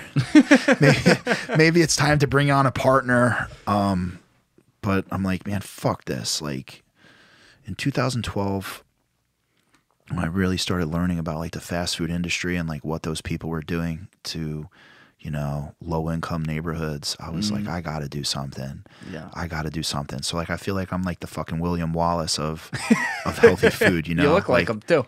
unless I'm on that fucking, unless I'm on that board getting fucking tortured, I'm not giving up, you know? Freedom. so, yeah, I'm like, I'm going out on my shield, baby. I'm not ever going to fucking give up. The only way I'm leaving is if I'm dead. So, yeah, it turned out, man, I, I wasn't having like my EKG was good, and I I, I had a, just anxiety. Yeah. It's you know what? I've heard a lot of stories like that. People end up in the ER. And there's there's several things that weirdly mimic a heart attack. Like I was in the ER three years ago with what I then figured was an anxiety attack, but it was actually like an eosinophilic eosinophilic asthma attack. Oh shit! Because like it'll there's something about like the left arm will go Oh, will no. go a little cold Oh, and God. shit. I thought I was having a heart attack. Fuck yeah, that left like, oh arm my goes. God. Oh my god, yeah. Oh but man, there's like several things that'll Yeah. do it and then it's the it's the most out of control feeling. Yeah. like you it's like your body's attacking you. I guess that's why they call it a heart attack. It's just the weirdest weirdest thing so uncomfortable. But i think about it a lot Mm-hmm. with stress as well because i never had like a ton of stress with things. I could just kind of get shit done. And i also never built something on my own Yeah. that was i was on my sword to do it. So i don't think i put myself in enough situations to feel it. So then as this started to move along and I started to feel it, like I find myself thinking about that all the time. I've never had a panic attack or anything like that, but I don't think I'm impervious to something like that. Like I want, like I'll ask myself sometimes when I'm feeling certain aches and pains because I've been dealing with some other health problems too. But I'll ask myself like, ah, is that is that from that or is Yeah. that just because I'm like the last two days have been insane? You know, it's it's a Yeah. weird thing to think about. I know, I know. And you're like, dude, I have limits. I am a human. I have Yeah. to breathe. I have to work out. So that's why, like, I have um. So every morning, I work out. My buddy comes over. We work out. We hit the sauna. I do that five days a week in the morning. You have a gym at your house? Yeah, That's awesome. yeah. I splurged. I got like the Matrix equipment. I have all the assault cardio. I have like a fucking badass gym at my house, but I use it every day. Um, I knew if I got residential equipment, I'd never fucking use it. So I got like the real shit, like Oh yeah. like you yeah. know, like you go to like Yeah. a home gym and there's uh, like that shitty equipment. Yeah. And I was like, bro, if I get shitty gym equipment, I'm never gonna use it. So I got like the real shit. Like I got the Matrix set up. I got, I got, I got, I got nice shit in my You house. got a bench and a rack and everything. Fuck yeah, dude. Let's fucking go. Yeah, Well. I mean, looking at you, I hope you do. Yeah. Christ. yeah, no, I love it, dude. Yeah, I have a great gym. Um, like I got the sauna, the steamer. How big's your sauna? You fit like fucking six people in it. That's pretty good. Yeah, Is that in your basement? yeah, yeah. I fucking love it. I used to go to the Banya, Like the Turkish bath? uh, Russian bathhouse. Yeah, Yeah, it's, yeah. It's uh, it's a cool place. But during COVID, we would sneak in. The owner would always let us in during the lockdown, and some fucking dude coughed, and he fucking got me in the back of the neck, and uh, you know, during the COVID lockdown, that was when like coughing was worse than farting. Like you'd be better off ripping ass than coughing at that point. And I'm like, dude, are you fucking like?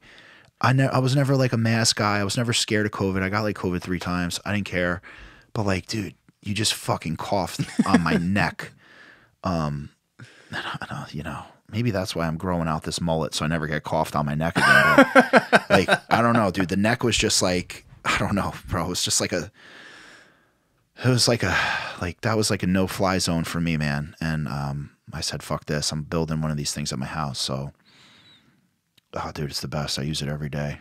Yeah, I want I want one of those for sure. like amazing. that's something if I had some money, that's one of the things I'd spend it on. dude and like another thing like you can get a fucking sauna sleeping bag for like 200 bucks. It's just as good. A sauna sleeping bag? well that's not what they're called but like that's basically what it is where like you just fucking plug up you put the bag up into your fucking neck and it's probably more comfortable than a than a real sauna because your fucking head gets hot as fuck. What is this thing? but um yeah dude you don't need like you could get one now dude that's what i Sauna would do Sleeping bag. I've Yeah, never like- heard of this. So I got my friends in the city. They got like fucking studio apartments. They're like, I don't have room for it. I'm like, bro, just get the fucking sleeping bag. This thing behind you? What that guy's got? Yeah, bro, those fucking things crank. I'll stick this in the corner of the screen. Holy shit. All right, you probably get a fucking, probably uh, Yeah, one's three ninety nine. you could probably find a coupon. Look, there's ten percent off, dude. Now you just save thirty nine. Keep going, bro. Fucking log off and let their drip campaign get you for another forty percent off in like six weeks. Yeah, let's see. There you go. Put all your information in the shopping cart and then log off, and then wait. Wait for their drip campaign. Dude, how They're gonna be thirsty. how about these? They're gonna things? want you. It's getting creepier now. Oh. Like how things follow you around. But that yeah, and that's why like like with E Clean, Bro, it's so funny, dude, because people are so paranoid to put their zip code. Like uh, there's a zip, so on, you go to eatcleanbro.com, there's a zip code authorizer, and and the reason that is is because like there's certain parts of the country we don't service. So if you're in Wisconsin and you're on eatcleanbro.com and like you're fucking you're I don't want to waste fucking 15 minutes of your life going through my menu going and like I can't fucking get you. right. So like put in your fucking zip code and you will immediately know yes or no. what? By the way, just real quick, what states are you in right now? Jesus, dude, I fucking There's don't- 17, but no, there's more now. I don't oh, even know. oh, you have know. more now. Do you I have don't the know. Do you have the whole Eastern Seaboard covered? We can get out into Chicago, South Carolina, Alabama. It's it's a lot. I- Do you I- do yeah. Florida? We're we're not in Florida yet. We're we're trying to really sort out. So like summer is here. We're trying to sort out like the temperature is definitely against us, you know, Mm. because we're not frozen. So like we're trying to sort it out. I'm probably going to disable some of the the territories. So like that's why I'm not really. I'm probably until we could like. We're gonna we're gonna level up our box, our liner, our ice packs, and then like then we'll probably start rolling out into those warmer areas. So like Texas and Florida has been like, I'm fucking dying to get to those states, but like I don't want to, I don't want to like half-ass the launch, you know. Right. Eat Clean Bro is has like a fucking reputation to live up to, and like I don't want people being, you know, I want people to have it and be like, oh, this is the reason these motherfuckers are, have been around for so long. Like, these are the guys. These are the guys to beat. Which we are. I mean, food wise, nobody nobody comes close. So What what you keep on talking about during COVID though? You were constructing something. Was Yeah. that your warehouse in Eatontown? yeah, so we built a brand new, you know, brand new kitchen, tons of refrigerated space, and uh, I built like my dream facility. Like the flow is just, the flow is just epic. So like the way the the way the employees and everything flows, the way the food comes in and out, it's really cool. It's one way in, one way out. You know, really trying to eliminate the possibility of cross contamination. So like food comes in the kitchen raw, it goes into a separate walk-in box fully cooked, it gets manufactured, it goes into order fulfillment and then it's out. Mm. Nothing's like, you know, when you're working a restaurant, you're utilizing raw and cooked stuff back and forth in most areas in most cases simply because like just how most restaurants uh, pretty much all restaurants are. Not that anybody should be scared to go to a fucking restaurant, but like I'm dealing with like millions of meals a year. Yeah, yeah. And you do anything a couple million times, like you're bound, like something's bound. to yeah, I mean, happen, I just so. think about with stuff like this, especially since you're not doing it frozen, like the amount of little things that can go wrong. You know, someone gets sick or gets food poisoning. It's, um, something's not fresh. it- they well, sue. the thing is, man, um, like I said, bro, positivity. So like, one of the things I'm most proud of at Eat Clean Bro is that like the staff all eats the food. When you go to the Eat Clean Bro facility, the break room is filled with staff eating the meals, and that's just it's just it's just always a relief because like everybody, not that like anybody's policing themselves, but like everybody's on top of the food. It's a chef run company. I mean, that's like the culture I've created. We're not like tracking the fucking retention rate. It's like, dude, how juicy was the chicken this week? Well, how many chefs do you keep like in that Eatontown location in the factory? Like how many how many chefs do you have working at one time? It's a team. I don't know. My director of production is like, you know, he has his rosters and but I have like a I have like a solid group of guys, dude. The people that cook are fucking good. That's great. Yeah. Have you ever done like you mentioned like Mario Batali or something, but do you ever have like connects to like celebrity chefs who may want to add things in the future to like your menu, do something special that's that they created or I would love that, man. Um I would love that. you meet any cool ones? Um, No. no. I'd Not love to meet I'd love to meet Bobby Flay. Just cause he's the fucking man. Yeah. But uh He's got a lot of restaurants now. Dude, his fucking spot in Borgata was the best, dude. Fucking went down during COVID. I'm so pissed. Wait, what? Yeah. That's gone? It's gone. No, it's not. Dude, that fucking No. God, those stuffed clams, all that fucking calamari, Jesus. That oh restaurant's God. Oh, you just ruined my day. Dude, I'm sorry. That was right next to Premier. it it was very good, man. It was fucking great. My I- buddy Nico's dad had an unofficial drink there called the Spiro that wasn't on the menu. It was uh-huh. fucking fire. yeah. It it was a great place. It was a great place. It was a great restaurant. There's like a new steakhouse in there. I mean, the steakhouse that's in there now is not bad, but Bobby's was fucking killer, Dude, I'd I always get know that, always get that three pound lobster, dunk it in the butter, baby. Then I fucking drip the butter on the mashed potatoes.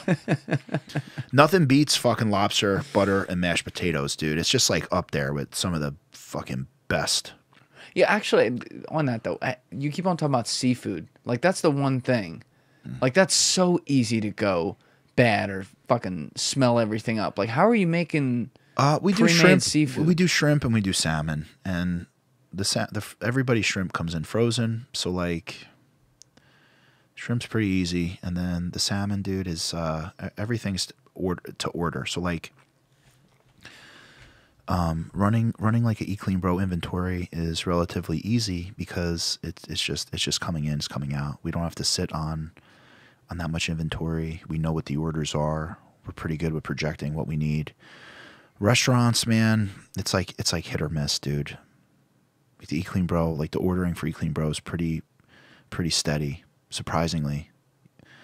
Although like we're not a subscription, like it pretty much people come back, the same people come back every week. It's pretty pretty easy to order.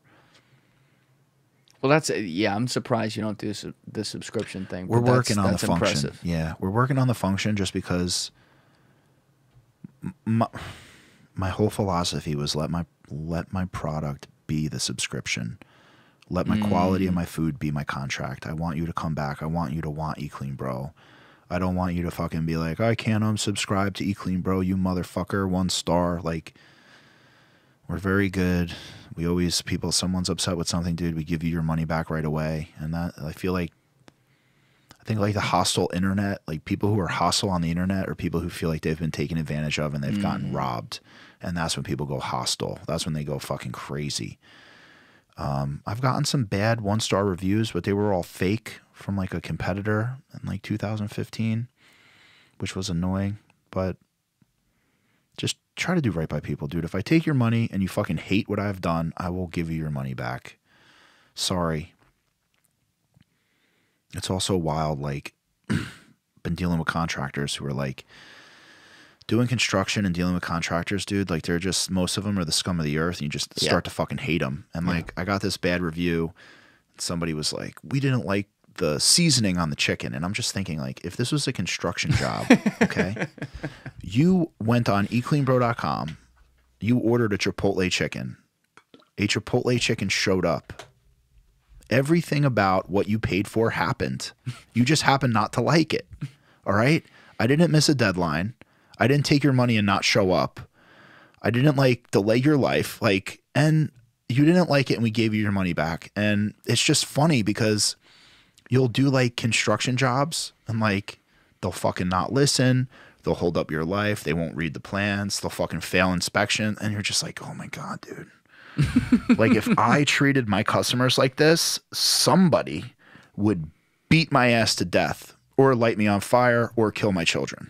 I don't know why that business is fi- like it's filled with that though. It's filled with like the most Degenerate yeah fucking degenerate, people who ever lived. corrupt, like all these like Yeah. You you constantly hear about like someone redid something in their house and like they're fighting over ten grand or Yeah. fifteen grand because the guy never did this You- or like he didn't say no. Like, like what the fuck, man? You just have to be that type of person to be in that industry.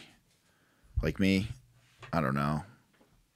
I could never do it. No, I don't think so. I could never like leave a job half done, just move on.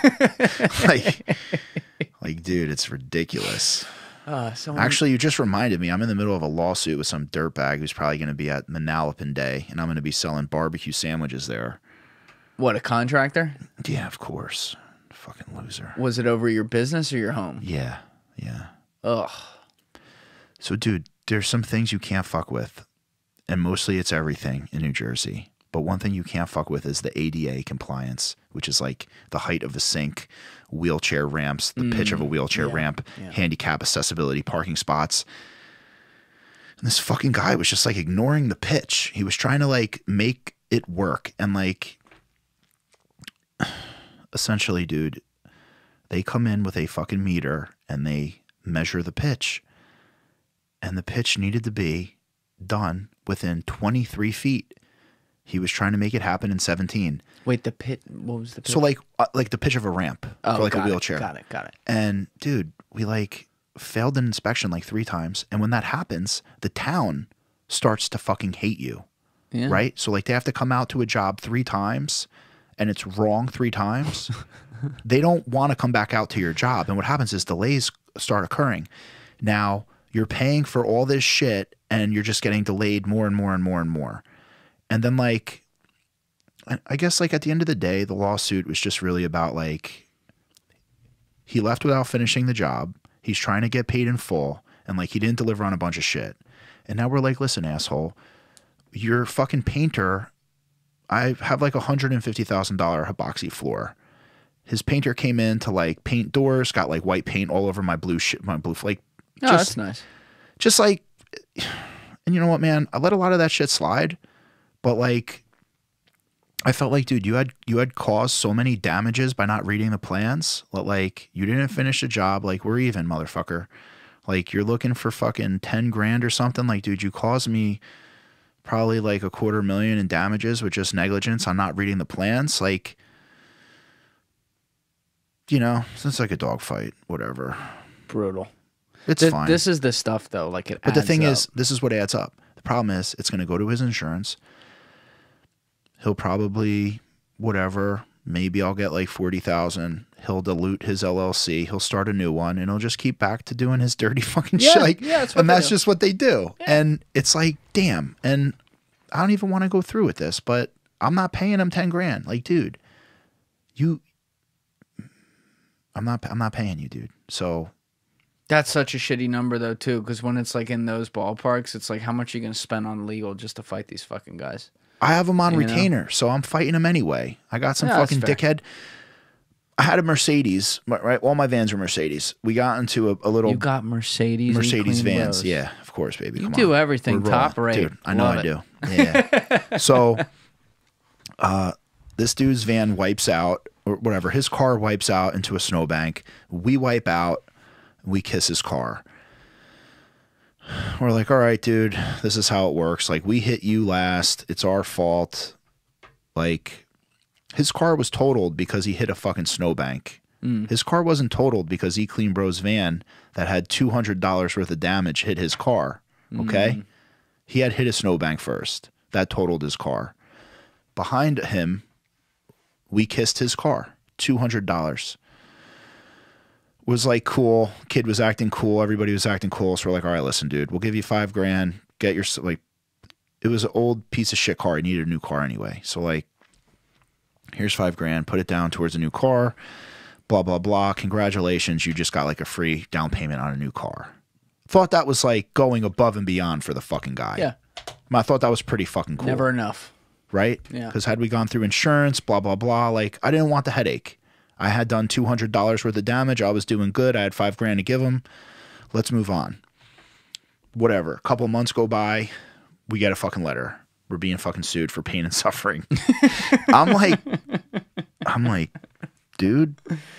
So first thing I do is I get a private investigator because like that's the first thing I do. Like when you sue me, and like put it this way, if I if I hurt you or if I did wrong by you, I want to make it right. But if you're a fraudulent piece of shit, I'm gonna nail you to the wall, Right. like I just am. Like employees, fucking nail them all. I actually felt bad, dude. I, I fucking got this guy. He was trying to say he got hurt on the got hurt at the work got hurt at work. The first day the private investigators there, dude, he's like shoveling snow. He was all decked out in e clean, bro. I felt bad about that part. But you know, he like, dude, what is wrong with people?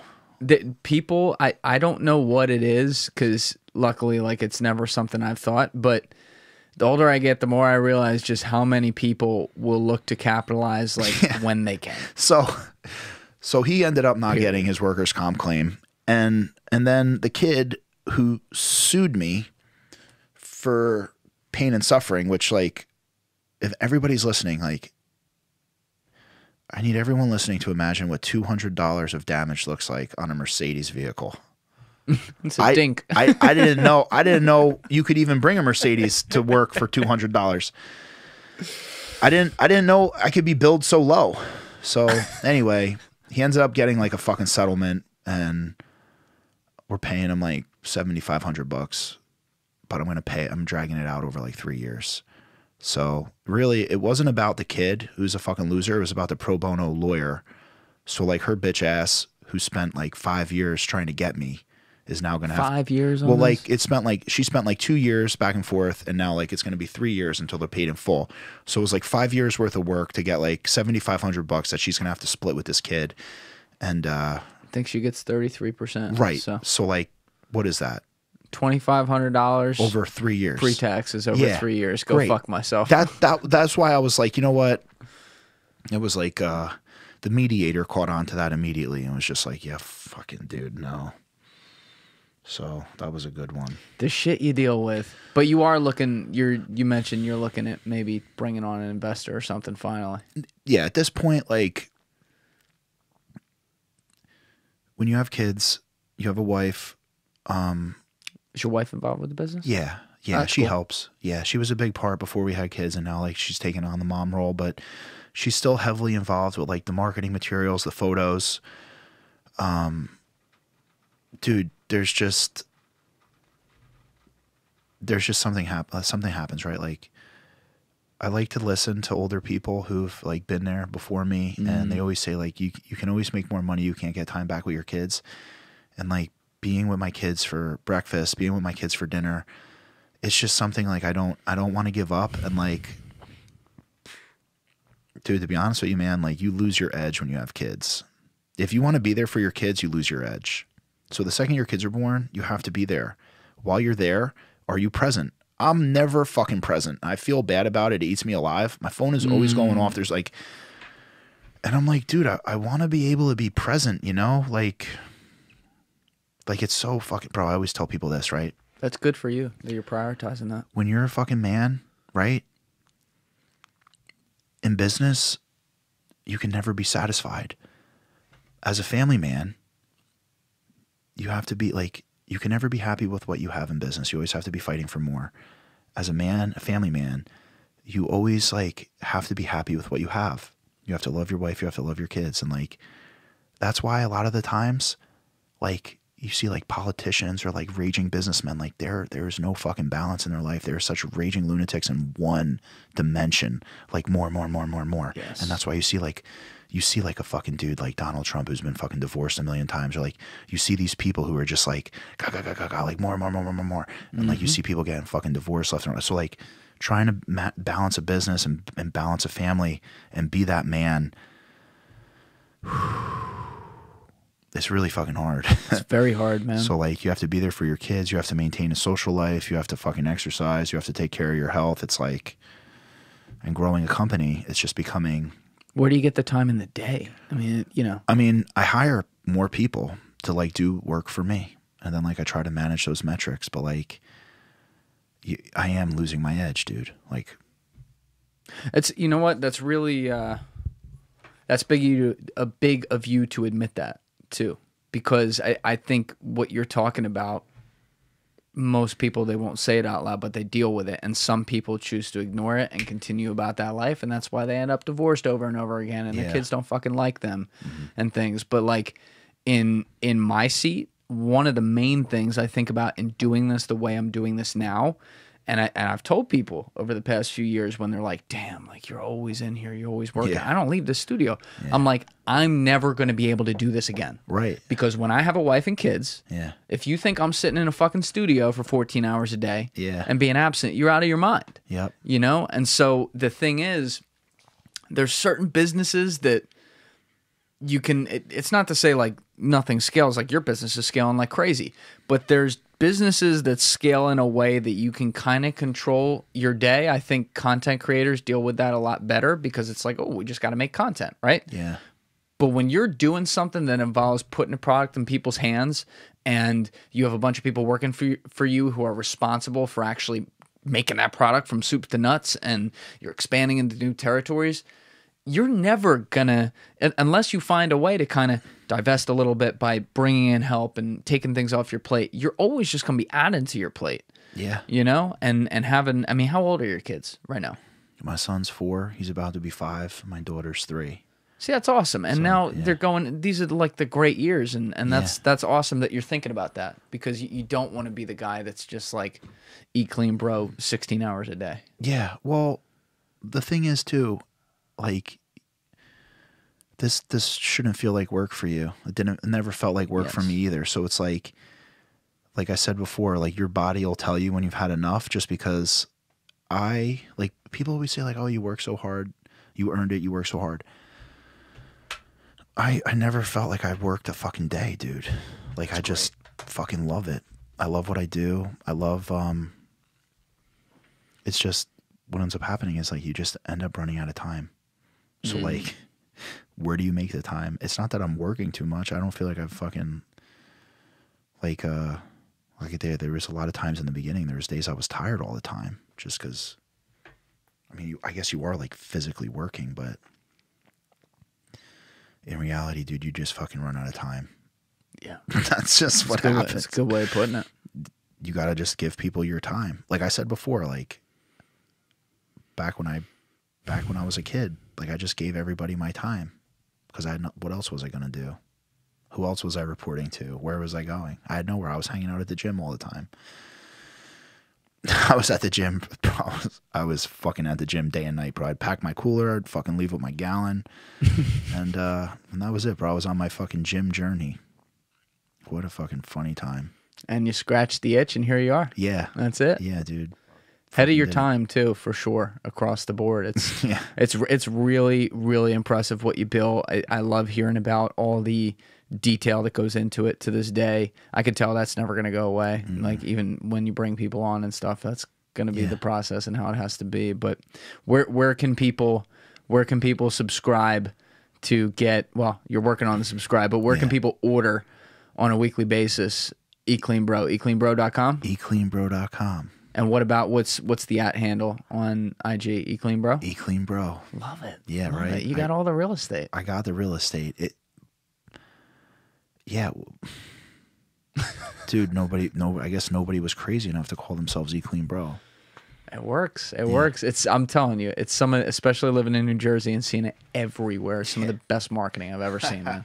great logo, great everything. But Jamie, I'm. I'm really glad. Really glad Chaz set this up. Yeah, so am I. Thanks for sharing all the Jersey stories. I love that shit. But everyone go to eatcleanbro.com, at eatcleanbro on Instagram, and you're at Jamie Giovinazzo on Instagram as well. That's right. I'll put right. that in there. Thank you, man. Say it right, everybody. Jersey out. Thanks again, brother. Everybody else, you know what it is. Give it a thought. Get back to me. Peace.